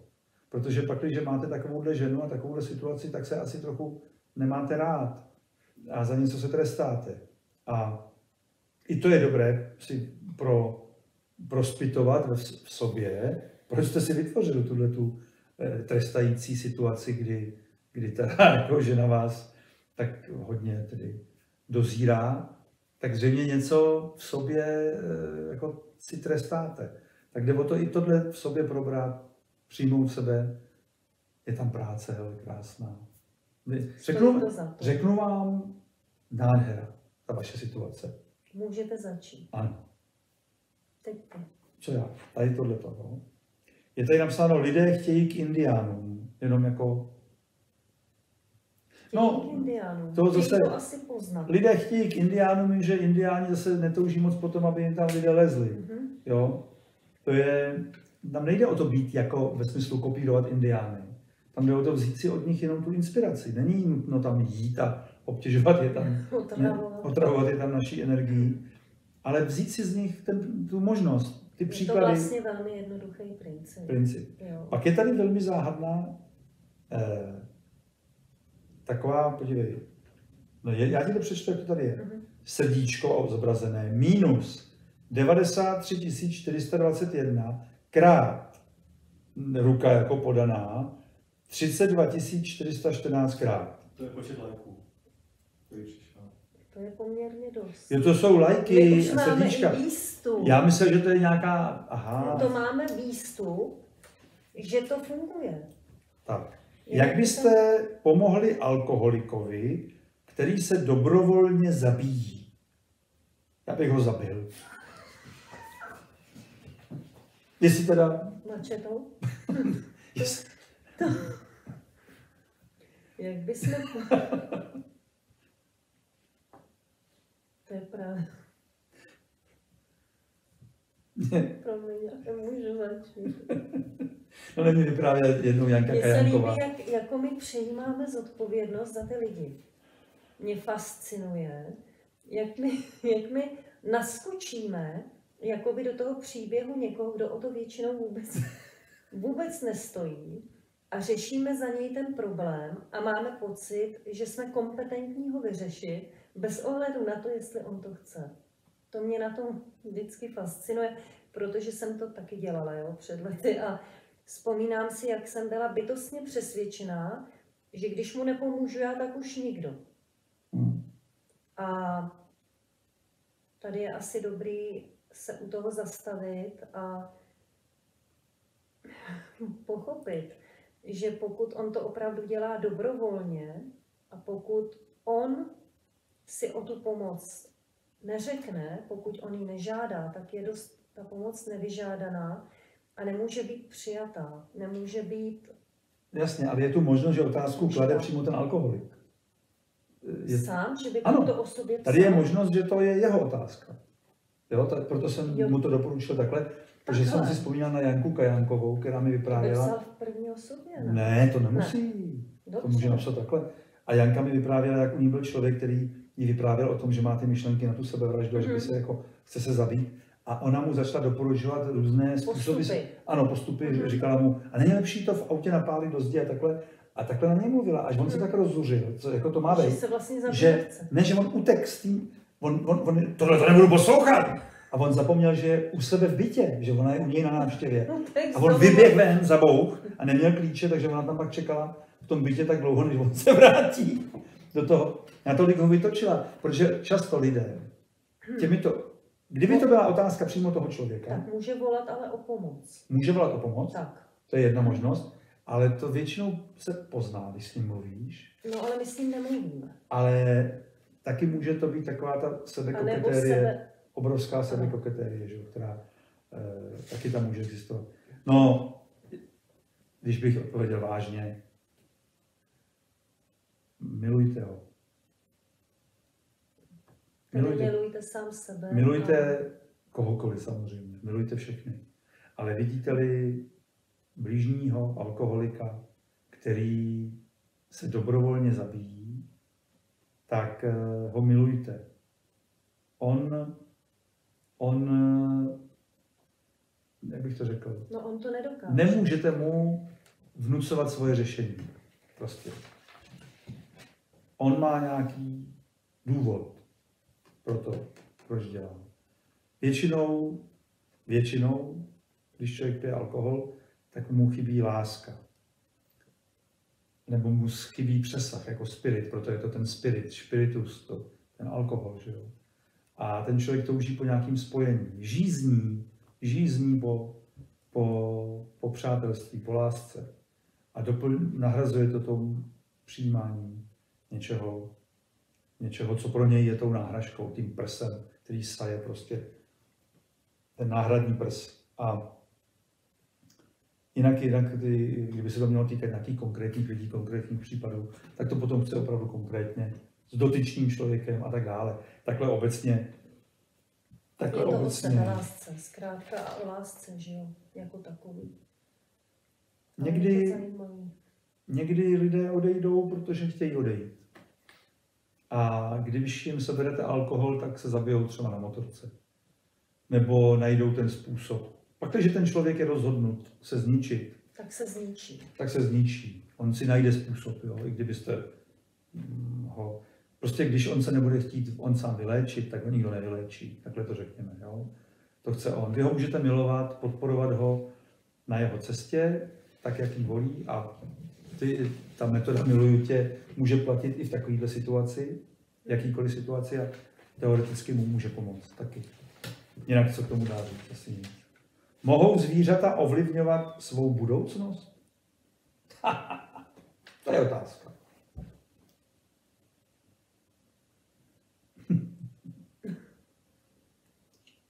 Zvířata. Zřejmě působíme jako zvířata. Teď to chci jako říct. Já jsem se jich neptala. Ale z mého pohledu tvoříme všichni jako bytosti. Otázkou je, z jaký úrovně a z jaký pozice. Ale myslím si, že tvoři nebo bytosti, které tvoří skrze instinkty, můžou let kdy tvořit obecně prospěšněji, než tvoří většina lidí, kteří by mohli svoje smysluplné žití vědomě řídit. Hmm. Já jsem dělal duši K o komunikaci se zvířaty a tam ta, tam ta Lucia, nevím to příjmení, už jsem zapomněl teďka v tuhle chvíli, vyprávěla takovou třeba příhodu, kdy, kdy se koně, její koně začaly chovat divně a ona zkoumala, co se to děje a zjistila, že jeden z těch koní, ten hřebec, eh, jí sdělil, že on během asi dvou měsíců nebo tří měsíců zemře. Že zemře a že jí žádá, jestli by mu přidělila mladého koně, kterého on by mohl učit, aby mu předal, aby mu předal svoje zkušenosti. A ona opravdu, protože to brala vážně, ona komunikuje s těmi zvířaty, tak skutečně našla nějakého hřebečka. Ten se nehnul od toho hřebce, opravdu spolu trávili veškerý čas. Pak dokonce on jí říkal, ten kůň jí sděloval, že až bude umírat, že bude potřebovat pomoc, že on už to nezvládne sám, aby mu píchli tu injekci eh, do, tady někam Hmm. do nějaký tepny nebo do žily na krku. Pak dokonce přiběh z nějakého výletu, ten kůň měl tady zapíchlej mm, kus dřeva a ona mu říkala, co děláš, už se chceš zabít a on jí říkal, ne, já ti ukazuju to místo, kam mi to máte potom píchnout. A pak opravdu jednoho dne, jo, on ještě ukázal místo, kde chce být pohřben. On ještě jí šel ukázat místo, říkal, kde je krásný výhled takhle a že tam bych chtěl být pohřben, Mhm. taky jako kopci na, nahoře. No a potom přišlo to chvíle, kdy koně se začaly chovat divně, ona se ptala, co je, a koně řekli, on už odchází. Ten. A opravdu, a bylo to tak, jak on to předem řekl, že se bude potácet, pak upadne na zem, eh, už nebude Bylo moc, nebude, ano, všechno probíhalo, jak on to řekl dopředu, tak mu píchli tu injekci. A v tu chvíli přiletěl datel a říkal jí, ukážu ti místo, kde chce být ten kůň pohřben. A letěl a kroužil nad tím místem, kde ten kůň chtěl být pohřben a na to ona říkala, což o to, já to věděla od toho koně, ale odkud to věděl ten datel. Takže ta třeba vůbec nepochybuje o tom, že ta zvířata nějakým způsobem komunikují, Hmm. eh, mohou tvořit. Kdybyste chtěli vidět úžasný tvořící zvíře, uvidíte na YouTube koně, který ho vodějí do hospiců, vodějí ho k umírajícím lidem, on tam sám vlastně chodí, ten kůň si rozhodne, do kterého pokoje půjde, ke komu půjde, tam stojí nad tím člověkem, dívá se mu do očí, ti lidé většinou pláčou a kůň s ním komunikuje, ti lidé říkají, že jim nesmírně pomáhá, že s nich snímá ten strach ze smrti. Eh, Toho koně tam milují všichni, vidíte to video na vozejku lidi a on, a on přijde a opře se hlavou o hlavu, nikdo se ho nebojí, že kůň by ho převrhnul na vozejku. Tam vidíte ty vědomí, vědomí způsoby, jak pracují třeba zvířata. Takže proč by zvířata nemohla ovlivňovat svou budoucnost? Dokonce ta Luša tam vyprávěla o psovi, který byl velmi zlý. Ten pes byl zlej a vždycky někdo přišel s tím, že je potřeba toho psa utratit a pak zase někdo řekl, že ne, že ten pes je tak krásný a on zase někoho kousnul ten pes. A tenhle ten pes sděloval ty Lušie, on jí říkal, víš, já, já bohužel jsem už zkažený a já už se nezlepším. Já potřebuji odejít, protože já už umím jenom ubližovat a já to dělat nechci. To bylo velmi zajímavé sdělení. Hmm. Pro mě bylo zajímavé to, že on sděloval, že už to nemůže změnit. Někdo ho tak týral, tak ho Že to nejde. někdo ho tak jakoby zkazil, jakoby, nebo byl na něj tak ostrý, na toho psa, že on už sobě nenašel sílu se změnit a už byl jenom útočný a zlej, ale nechtěl to dělat, nechtěl být takový. Tak ten přímo jako žádal o to, aby mohl odejít, aby, byl, aby nějak byl usmrcen. Protože nějak to sám nedokázal. To bylo eh, A dovede to výkon. sdělit, jako ta sebereflexe. To zvláštní, tam jo. ona vyprávěla neskutečný samozřejmě příhody o zvířatech. Takže proč by ne?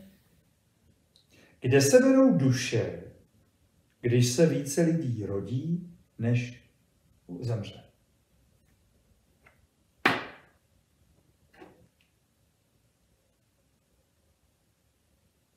To je zajímavá otázka. Tak jako je, ale Ale zároveň, zároveň bychom asi se dostali k tomu, jak si představujeme tu duši, co si myslíme, že to je, energie. Jo? A jako kde, se, kde nabíráte vodu z řeky? Kde bere voda, kde bere řeka vodu pořád? Kde se bere? Kde bere tu vodu, která pořád teče v té řece, když tam na začátek jsou taky malé pramínky a pak je to obrovská řeka, která plyne a pořád plyne a pořád plyne, po staletí plyne, po tisíciletí plyne. Kde se bere? Kde pořád ta voda se bere? Jo? Odkud se to všechno bere? Tady přece není jako mm, duše není hmotný výsek, který byste vysekl z nějakého celku a tam zůstala po ní díra. Jo, je to spíš jako když naberete nabíračkou vodu z řeky a ta voda tam nechybí. Vy přece nemáte dojem, že ta voda tam chybí. Naberete, nechybí. Naberete, Naberete, nechybí. nechybí. Hmm. Jo? Je, to, je to tvůrčí princip toho, řekněme, nekonečného vědomí, které je nekonečné. V tom svém, ve svém pojetí nemá omezení, jak, my, jak naše mysl tvoří čas a prostor. Tudíž ta otázka, kde se bere, v tomto smyslu nedává smysl. Jo? Ta, ta by mohla být pouze z nějakého hmotařského počítání, kolik je lidí, kolik je duší, tolik je duší, tahle ta duše se jde někam zpátky. To není přece, je to jako nádech a výdech. Vy ten vzduch neukradnete, jako vy ho nevydýchnete. On, on zase se tvoří dál. Tenhle ten vesmír je sebetvořící a sebeemanující. Tam není, eh, to je jako kdybyste se psali, kde se vzali planety. Kde se vzal vlastně vesmír. Kde se to vzalo? A když, si, když se říká, že to vzniklo z toho vákua, jako z ničeho, že nejvíc energie se generuje z vákua. Jak se z vákua může generovat energie, když tam nic není, že jo? A přesto v těchto těch paradoxech my jsme stvoření a v nich žijeme, takže smířte se s tím paradoxem, nedá se nic dělat, přijměte to. Nebo? Přijmout. Jestli máš nějaký počet, jak ty duše se berou. Výpočet. Ne, ne, ne, tak já to beru jako, že ta energie se nějakým způsobem vrství různě a ty zhluky se mění, že jo, a to není poměrná část, ale je to vždycky ta určitá energetická informace. Takže to nejde vypočítat. A odkud vlastně se to všechno vzalo? Ten život a tak? Hm? Plánujete další dušika s Mudr Janem Šulou? Plánuješ nějakou dušika s Mudr Janem Šulou? No já dušika neplánuju, to je otázka na tebe. Já momentálně neplánuju dušika s Mudr Janem Šulou, protože Já bych řekla, že neplánuješ dušika. Já je taky Ty moc neplánuju. No nejsou, teďka nějaký tři jsou naplánovaný, tak, Tak. tak. tam jsou. Tam momentálně není dušekář s, s Honzou Šulou, protože ta dušekář, co tam je, ta pořád, ta už má asi 3 miliony zhlédnutí neuvěřitelné. Lidi na je ní obsažná. je obsažná, je tam to řečeno. Pak jsme udělali na YouTube několik dalších nahrávek s Honzou, kde si myslím, že je spousta věcí, které platí. A zatím, zatím jako není nějaký téma, že bychom něco dalšího vnesli, nebo já tak nemám ten pocit, tak eh, takový plán zatím není. Ale všechno se může změnit. To je poslední tady z těchto těch mojich. Dobře, takže pokračuju já. tak jdem. Járu, matematik Karel Janeček jako kandidát na prezidenta. Mhm. Dali byste mu volební hlas, aby se stal prezidentem? Odpovězte. Já nechodím volit většinou a s prezidentem můj návrh byl minule, když se mě ptali, ať se ti kandidáti všichni tam střídají po půl roce.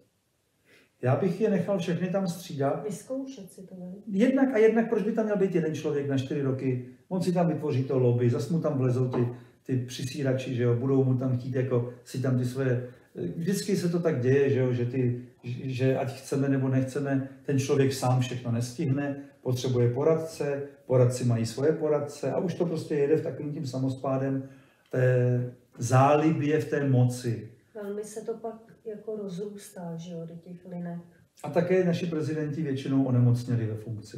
Vlastně posledních pár prezidentů na tom nebylo zdravotně dobře, By- bylo vidět, že ta funkce je ničí, takže já bych to nikomu nepřál, funkci prezidenta, protože se zdá, že není prospěšná pro lidskou bytost. A domnívám se, že vůbec jako je potřeba už odhodit tyhle ty představy prezidentů a předsedů vlád a že bychom měli eh, tvořit vědomější společenství lidské. Že na to máme kapacitu a že bychom měli se přestat pořád poohlížet po nějakých vůdcích, kteří něco povedou, protože si myslím, že to už nás dovedlo tam, kde jsme teď. A tím pádem já bych jako vůbec zrušil volby těchto těch eh, existencí prezidentů, ministrů, předsedů vlád.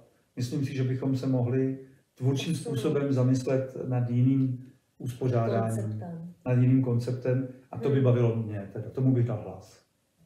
Na to mám stejný názor, protože si myslím, že to, co neustále přináší stejný výsledek, se musí změnit, aby to přineslo odlišný výsledek. Takže ta koncepce té volby těchto vůdčích postav, které, a teď nemluvím o konkrétní osobě, ale opravdu nebývají prozatím příliš vědomí a spíš bývají hodně často ovládány egem, mm, mi nepřijde jako prospěšná. Prostě hra na osobní důležitost by mohla Lpění k té vlastní důležitosti lpění na funkci, představa, že je, vyznamenání někdo rozděluje. To je, pro mě to jsou tak směšné, promiňte. ono se to hrozně, pardon, hodně, hodně týká toho neustálého jakoby kastování a porovnávání lidských bytostí. Jo. Ano, Mně přijde že my si neuvědomujeme, že my všichni jsme tvůrci, jsme všichni v jedné pozici. Jako myslím tím, jsme na jedné lince. Není to o tom, že někdo má lepší vzdělání, někdo má více peněz, někdo dosáhl většího úspěchu. My tady pořád se tak jako rovnáme, mně to přijde jako domečky, do určitých domečků a bohužel čím víc vidíte domečků, které jsou nad vámi, tím víc, pokud nejste zaměřeni sami na sebe, ale koukáte se ven, vaše sebehodnota klesá a máte pocit, že vy nedosahujete sem, ani sem, ani sem a ve spousta lidí se pak cítí, že je někde dole. A já si myslím, že ten fenomén toho porovnávání se a srovnávání se by mohl skončit. A ve chvíli, kdyby jsme si to uvědomili v tom kolektivním vědomí, tak by to nemohlo být. Takže můj názor. Můj názor. Vím, že existuje třeba na některých školách vysokých rotující rektor. To mě tehdy překvapilo, to mě právě inspirovalo k té myšlence. Tady v Čechách? Ano, ano. Rotující rektor, to znamená, že se ve funkci rektora střídají na té škole po nějaké době, nevím jestli po půl roce, po roce. Uh-huh.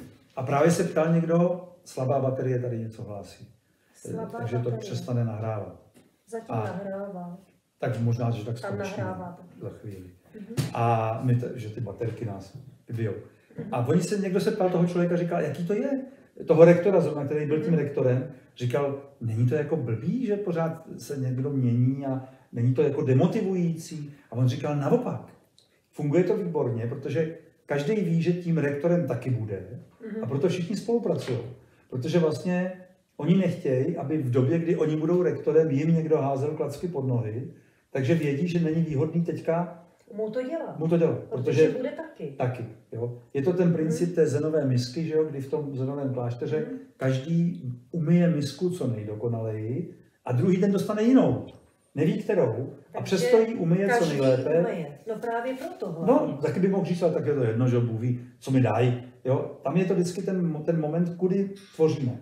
Jestli tvoříme tu negativní skutečnost, to znamená nějakou, jako že to bude samý hnus a tak se na to taky vykašlu, mm-hmm. anebo jestli si řeknu, jestli chci, aby to fungovalo, tak to musím začít dělat já, aby to fungovalo. Tak to dělám.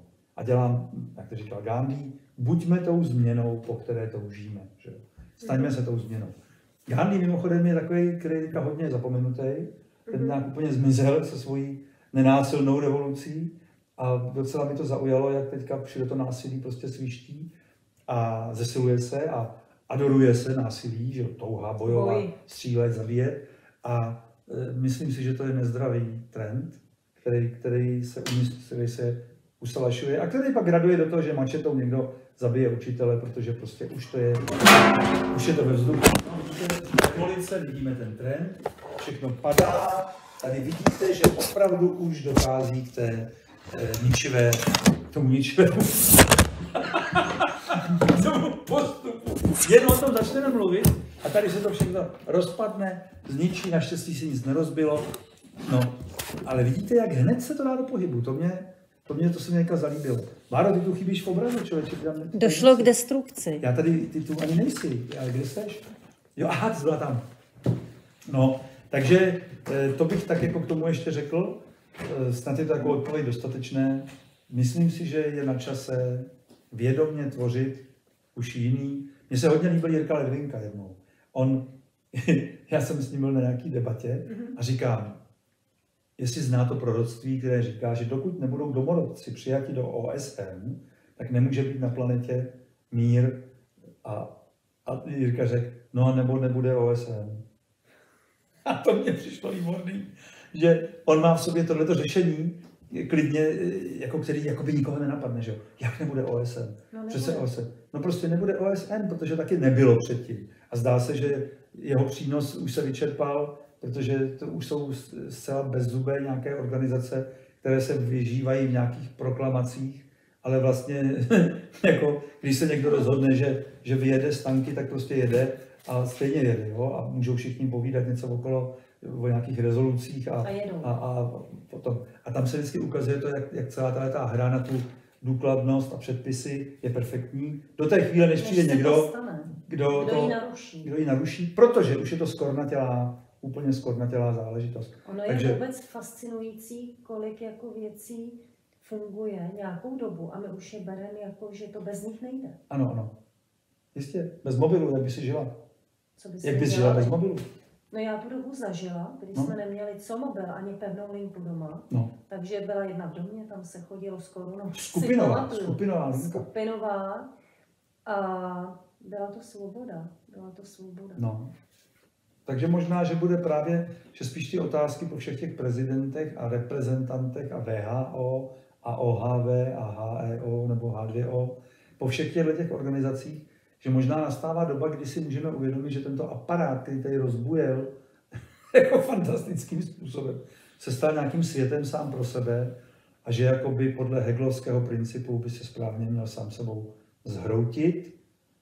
Čínská kniha I tím k tomu říká převaha velkého, znamení převaha velkého, které říká, že trám se prolomí vlastní vahou, protože už je moc, moc tlustý ten trám a na, na koncích je příliš tenký a vlastní vahou on už se prolomí, protože už se neunese. A možná, že tohle je naše civilizace, že už se sama není schopná unést, protože, jak víte sami, tolik energie, kolik je potřeba věnovat na opravy silnic, ulic, povrchů, všeho, už je tam tolik energie jenom na ty opravy, že už to vlastně ani nestačí, nestačí. peníze na to, abychom to stíhali všechno opravit. A možná, že jsme opravdu ve fázi, kdybychom měli tu fundamentální otázku si položit, zda takto chceme pokračovat dál, jak zmínila Bára, neboť se zdá, že tato cesta nepřináší harmonii, mír, klid, štěstí, pocit sounáležitosti, radost z života. Zdá se, že tato, tato, tento, tento svět přináší čím dál tím víc restrikcí, omezení, snahy o donucování, hlídání, navzájemného udávání, osočování. Je to prostě svět, který je starý, už se vyčerpal, rozlučme se s ním hezky ve svých srdcích. Udělal, co měl. Zažili jsme si války, vězení, střílení a zabíjení a možná, že přichází chvíle, kdy si můžeme vědomně říci, v tomto nebudeme pokračovat. pokračovat. Tak dáme ještě nějakou? Jo. Dobrá. Tak jo. Jak tvořit hezkou budoucnost pro sebe a své děti v téhle době? Spousta lidí má strach a to vysílají do kolektivního vědomí. Mhm. Co já zmůžu jako jednotlivec? Můžu mít hezkou budoucnost, když se nenechám strhnout davem a pojedu si to svoje? Mě fascinuje ta část pojedu si to svoje. Protože, protože to svoje je naše. Jo? Ale dejme tomu, že Ale rozumíme dejme... otázce. Uh-huh. Jo, jako rozumím tvý, tvý jako si výhradě k tomu. Ne, ne, ne, jenom taková doplnění, doplnění. Každopádně, kdyby každý si jel prospěšně to svoje, tak naše kolektivní vědomí je prospěšné, že jo? Pak by nebyla potřeba tato otázka. Tato doba, kterou žijeme, je speciálně vhodná k tomu, abychom prověřovali a ověřovali, zda jsme schopni uprostřed zdánlivého nějakého marazmu vědomě tvořit své snění.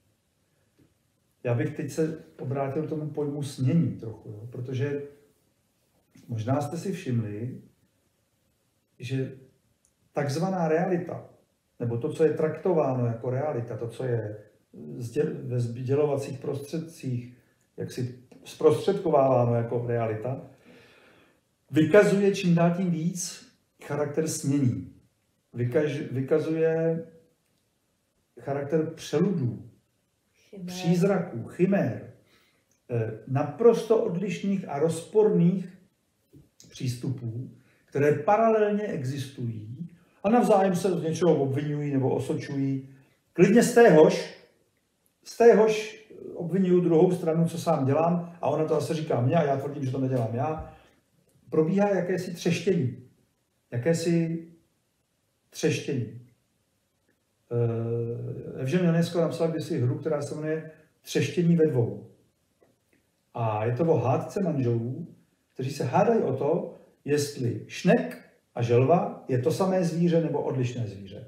A jeden zastává stanovisko, že to je stejné zvíře, protože má domeček, má taky domeček, bydlí v domečku, a zase ten druhý, že to není, že tam má nohy a ten má tu jenom tu jednu nohu a strašně se hádají. A vydrží se celou tu dobu hádat o tuhle věc. A ta hra končí výbuchem atomové bomby. Já jsem tehdy, když jsem to četl poprvé dávno na gymnáziu, tak jsem to považoval za přehnané, ten závěr od toho Joneska. Že to jako je takový přilepený konec. Dneska v tom dění, které vidím, vidím, že on přesně vystihl to, jak ta přiblblá hádka o úplnou pitomost může vést postupně až k tomu, že jedna strana na druhou hodí tu atomovou bombu, jenom proto, aby měla pravdu. Aby prostě, a tím, co prostě skončí tenhle tento třeštění. A my, jak vidíme to třeštění všeobecné, a čteme zároveň zprávy takové ty vesmírné a tohle, ohnivé sloupy eh, na nebi, UFO léta, už Pentagon to přiznává, piloti na Floridě viděli. Vidíme, že prostor snění akceleruje a že to, co jsme... Prolíná. A že to, co jsme považovali za realitu, vykazuje jakési chyby v Matrixu, nedostatky, a jak nedávno skupina vědců prokázala, neexistuje objektivní realita, vědeckým pokusem prokázali, že pozorovatel prostě ovlivňuje nějakým způsobem zvláštním nebo spolu vytváří tu realitu. Každý svůj. A toto je příležitost. Opravdu tento princip důsledně realizovat. A v momentě, kdy důsledně budete realizovat to své, pak, když připustíme, že to je ve prospěch celku, to, co vy chcete, že to není něco jako na úkor celku. Pak, když je to ve prospěch celku, v nejvyšším dobru vašem i obecném, pak, když to budete důsledně praktikovat, uvidíte výsledky a nebudete se ptát. Protože vám to začne být jasné, že to tak je. To jsou ti lidé, kteří přežili, prožili třeba druhou světovou válku a nevěděli, že byla. Teď to, myslím, se stalo Toru Herdalovi, ne?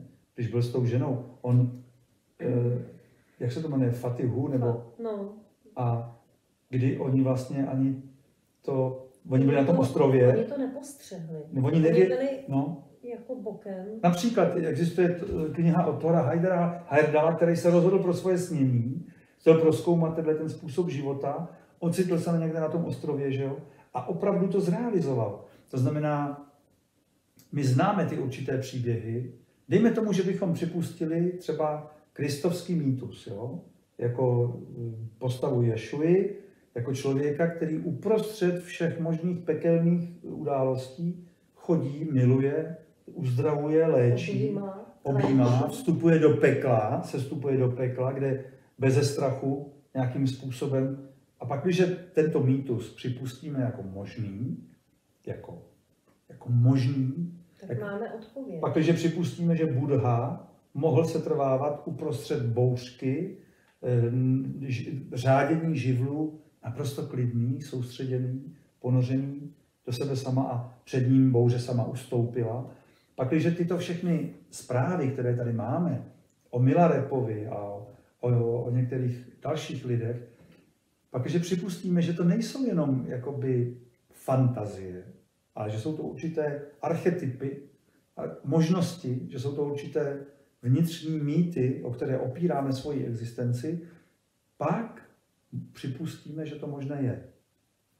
Prostě to je možné. Skupina meditujících mnichů prošla palbou při větnamské válce, prošla frontovou palbou, prošli v meditaci, aby ukázali, že to možné je. Hmm. Prošli nezraněni tou palbou, tak praví legenda. Jo? A jistě víte o případech, kdy spadne letadlo a jeden člověk to přežije, nebo dva. Výjdou ven? Všichni jsou mrtví. A jeden člověk ne. Jak to? koncentračních táborech zemřelo ohromné množství lidí, ale někteří, někteří to přežili. Někteří tu situaci zvládli a když někdy čteme ty, ta vyjádření, ty popisy toho, jakou vnitřní sílu oni udrželi v sobě, tak pochopíme, že to možné je. To, na co se ptáte. To je odpověď. Možná by bylo dobrý dát si vůbec v této dnešní tady kolektivní energii prospěšní, kterou máme s vámi, s posluchači, nechci říkat závazek, protože ten je nějaký zavazující, ale že bychom to mohli zkusit. Ale to je pro radost. To je pro radost a lidi by mohli zkusit radostně tvořit, protože hele, každý potřebuje určitou inspiraci. Někdo ji najde v sobě, někoho zaujme něco, někomu někdo něco řekne. Možná, že pro někoho bude inspirací, že tohle viděl nebo slyšel. Otázka je, proč to neděláme. Proč to neděláme? Už dávno. Co nám pořád brání v tom, abychom tvořili lehce, hezky, společně? Proč dáváme spoustu energie a spoustu pozornosti tomu, co nám nejde, tomu, co nám strpčuje život, tomu, čeho se bojíme, tomu, co nás netěší, tomu, z čeho nemůžeme hrůzou spát. Protože když si všimneme, že ono to touží po naší pozornosti, ono to neustále leze do pole, naše, do zorného pole, touží to po naší pozornosti a my naivně často tu pozornost tomu poskytujeme a řešíme problémy, které nemůžeme vyřešit. Placháme plachy, se kterými nemůžeme nic udělat. E, řešme to a dělejme to, co můžeme. Někdy stačí si položit otázku, při čem se cítíte dobře.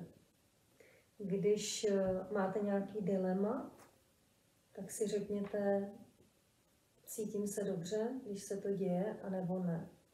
A, a pokud si odpovíte, že ne, tak to zkuste opustit, nebo z toho odejděte. A už tím můžete udělat velmi mnoho. A někdy je dobrý pozorovat přírodu podívat se na slunce, na měsíc, na hvězdy, na vodu a všimnout si, že neochvějně pokračuje dál. Pokračuje dál. Plyne. Plyne dál. V harmonii pokračuje. A to je dobré si uvědomit. Někdy je dobré si uvědomit, že my jako lidé na této planetě jsme prošli všemi těmi protivenstvími, my jsme prošli výbuchy vulkánů, supervulkánů, doby ledové. Eh, my jsme prošli hladomory, prošli jsme epidemie, pandemie. My jsme všechno to už prošli, srážky z asteroidy. My jsme to všechno prošli. To znamená, my tu jsme. Ačkoliv to všechno se stalo, to se přihodilo, ty události tu byly, ale my tu jsme. A když vnímáme tuto sílu života, tuto tuto neochvějný, tento neochvějný proud, který nás samotné vyživuje a nese, tak pak můžeme cítit tu naději neustálou, která prostě, proto se říká, že ta umírá poslední, že jo? protože vlastně neumírá. Víte, každý jeden z vás, tak jak tu jste, a tak jak vlastně posíláte ty otázky, které jsou plné nějaké vaší bolesti nebo teď strádání, tak mi přijde, přijde mi fajn, kdybyste si uvědomili, že každý jeden z vás je tady jako originál, jo? jako fenomén. Nejste tady dvakrát, každý z vás, tak jak se teď díváte a tak jak jste, jste tady jenom jednou. A to je neskutečná hodnota a ať už se vám děje ve vašem životě cokoliv, tak vy se můžete rozhodnout, že se to od teď začne odvíjet jinak. A nemusí vás definovat to, co jste udělali doteď, nebo to, co se vám dělo doteď, ale vy sami sebe můžete hodnotit, pokud tu potřebu máte, a vaší sebehodnotu zvedat tím, že budete vědomě tvořit to, co se nese v té prospěšné energii. A tento potenciál máme všichni. A asi k tomu dodejme, když jsme to už tady dneska několikrát řekli, ale připomeňme, že ta vědomá tvorba spočívá v tom, že určité obrazy, které můžeme nazvat myšlenkami, ale to nemusí být slovní myšlenky, mohou to být vize, obrazy, procitujeme do hlouby duše. Procitujeme do hlouby duše s vědomím, že prostor, život, zdroj, otec si s tím poradí. On to zrealizuje. To, že budeme vědomě tvořit, nemusí, neznamená, že musíme to všechno dělat. Jako dělat, konat, kutat, skutávat.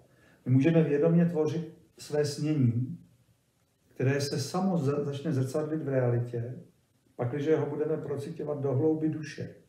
Nebudou to ty myšlenky, že jenom něco řekneme, já bych to chtěl takhle, a já bych chtěla, aby, aby se všichni měli rádi.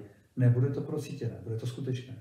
Bude to do hlouby procítěné a budeme jenom pozorovat, jak nám začíná zrcadlit prostor a život toto smění. A je to fascinující zážitek. Můžete si utvořit svůj film v hlavě. Rozumíš? Jako procítit svůj film, ve kterém já se cítím dobře, ve kterém já mám vlastně portál srdce otevřený, ve kterém já vnímám, jak mě mají ostatní bytosti rády, jak mě přijímají a jak já mám ráda je. Pokud dokážete se do toho ponořit, tak tady v realitě se vám to začne ukazovat. A funguje to poměrně rychle.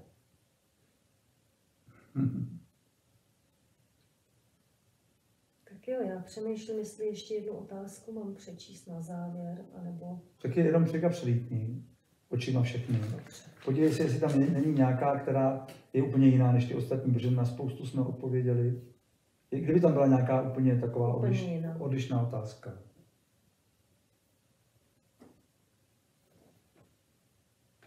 Asi jsou podobné. Jsou podobné.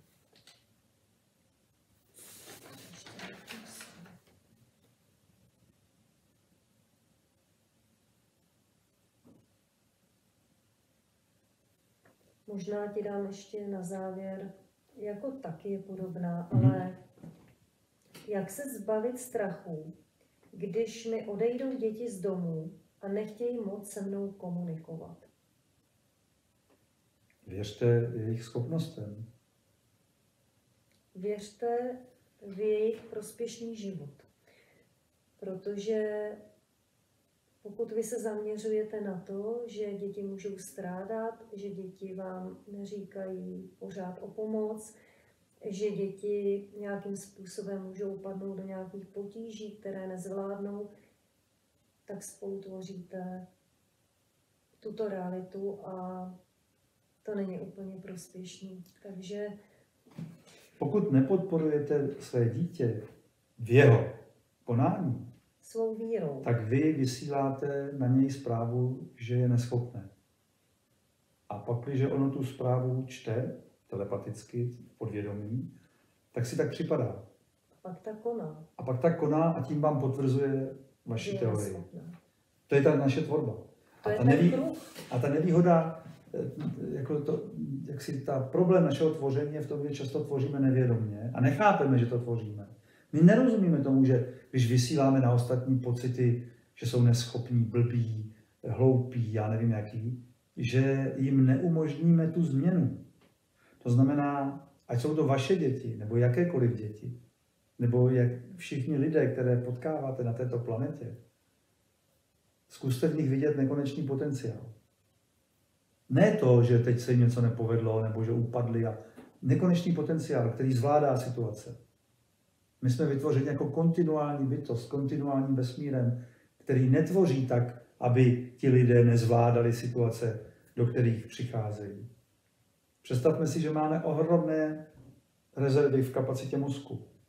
Představme si, že můžeme probudit hypofýzu, epifýzu, můžeme probudit, požádat o o aktivaci záloh, které čekají na svou aktivaci. Kdyby nečekali, tak by tam nebyli. A můžeme i toto si představit a probouzet u dětí. A vlastně dovolit jim, aby rozvíjeli svůj nekonečný potenciál. A ne, abychom v nich strachem osekali jejich skutečně ohromné tvůrčí schopnosti. Důvěra, láska, podpora. Tak bych to viděl. Vůči dětem. Vůči všem bytostem. Vůči všem bytostem. No tak ďábelů za děti všechny nás. Jo, to myslím, že bylo hezký na závěr. Tak děti, Takže, vyčůrat, zoubky a spát. a jestli se budete chtít s námi potkat osobně, tak teď je možnost 27. května na křtu knihy v divadle Kampa. Kampa. Pět hodin. Je Pět to hodin. tolik hodin, kolik máte prstů na rukou. Takže 27. v 5 hodin. Pět. A informace najdete na webu a budeme se na vás moc těšit. A jinak já děkuji Járu, že jsi přišel. A v pět můžeme společně pět. Budeme se na vás těšit, mějte se krásně. Tak, papa.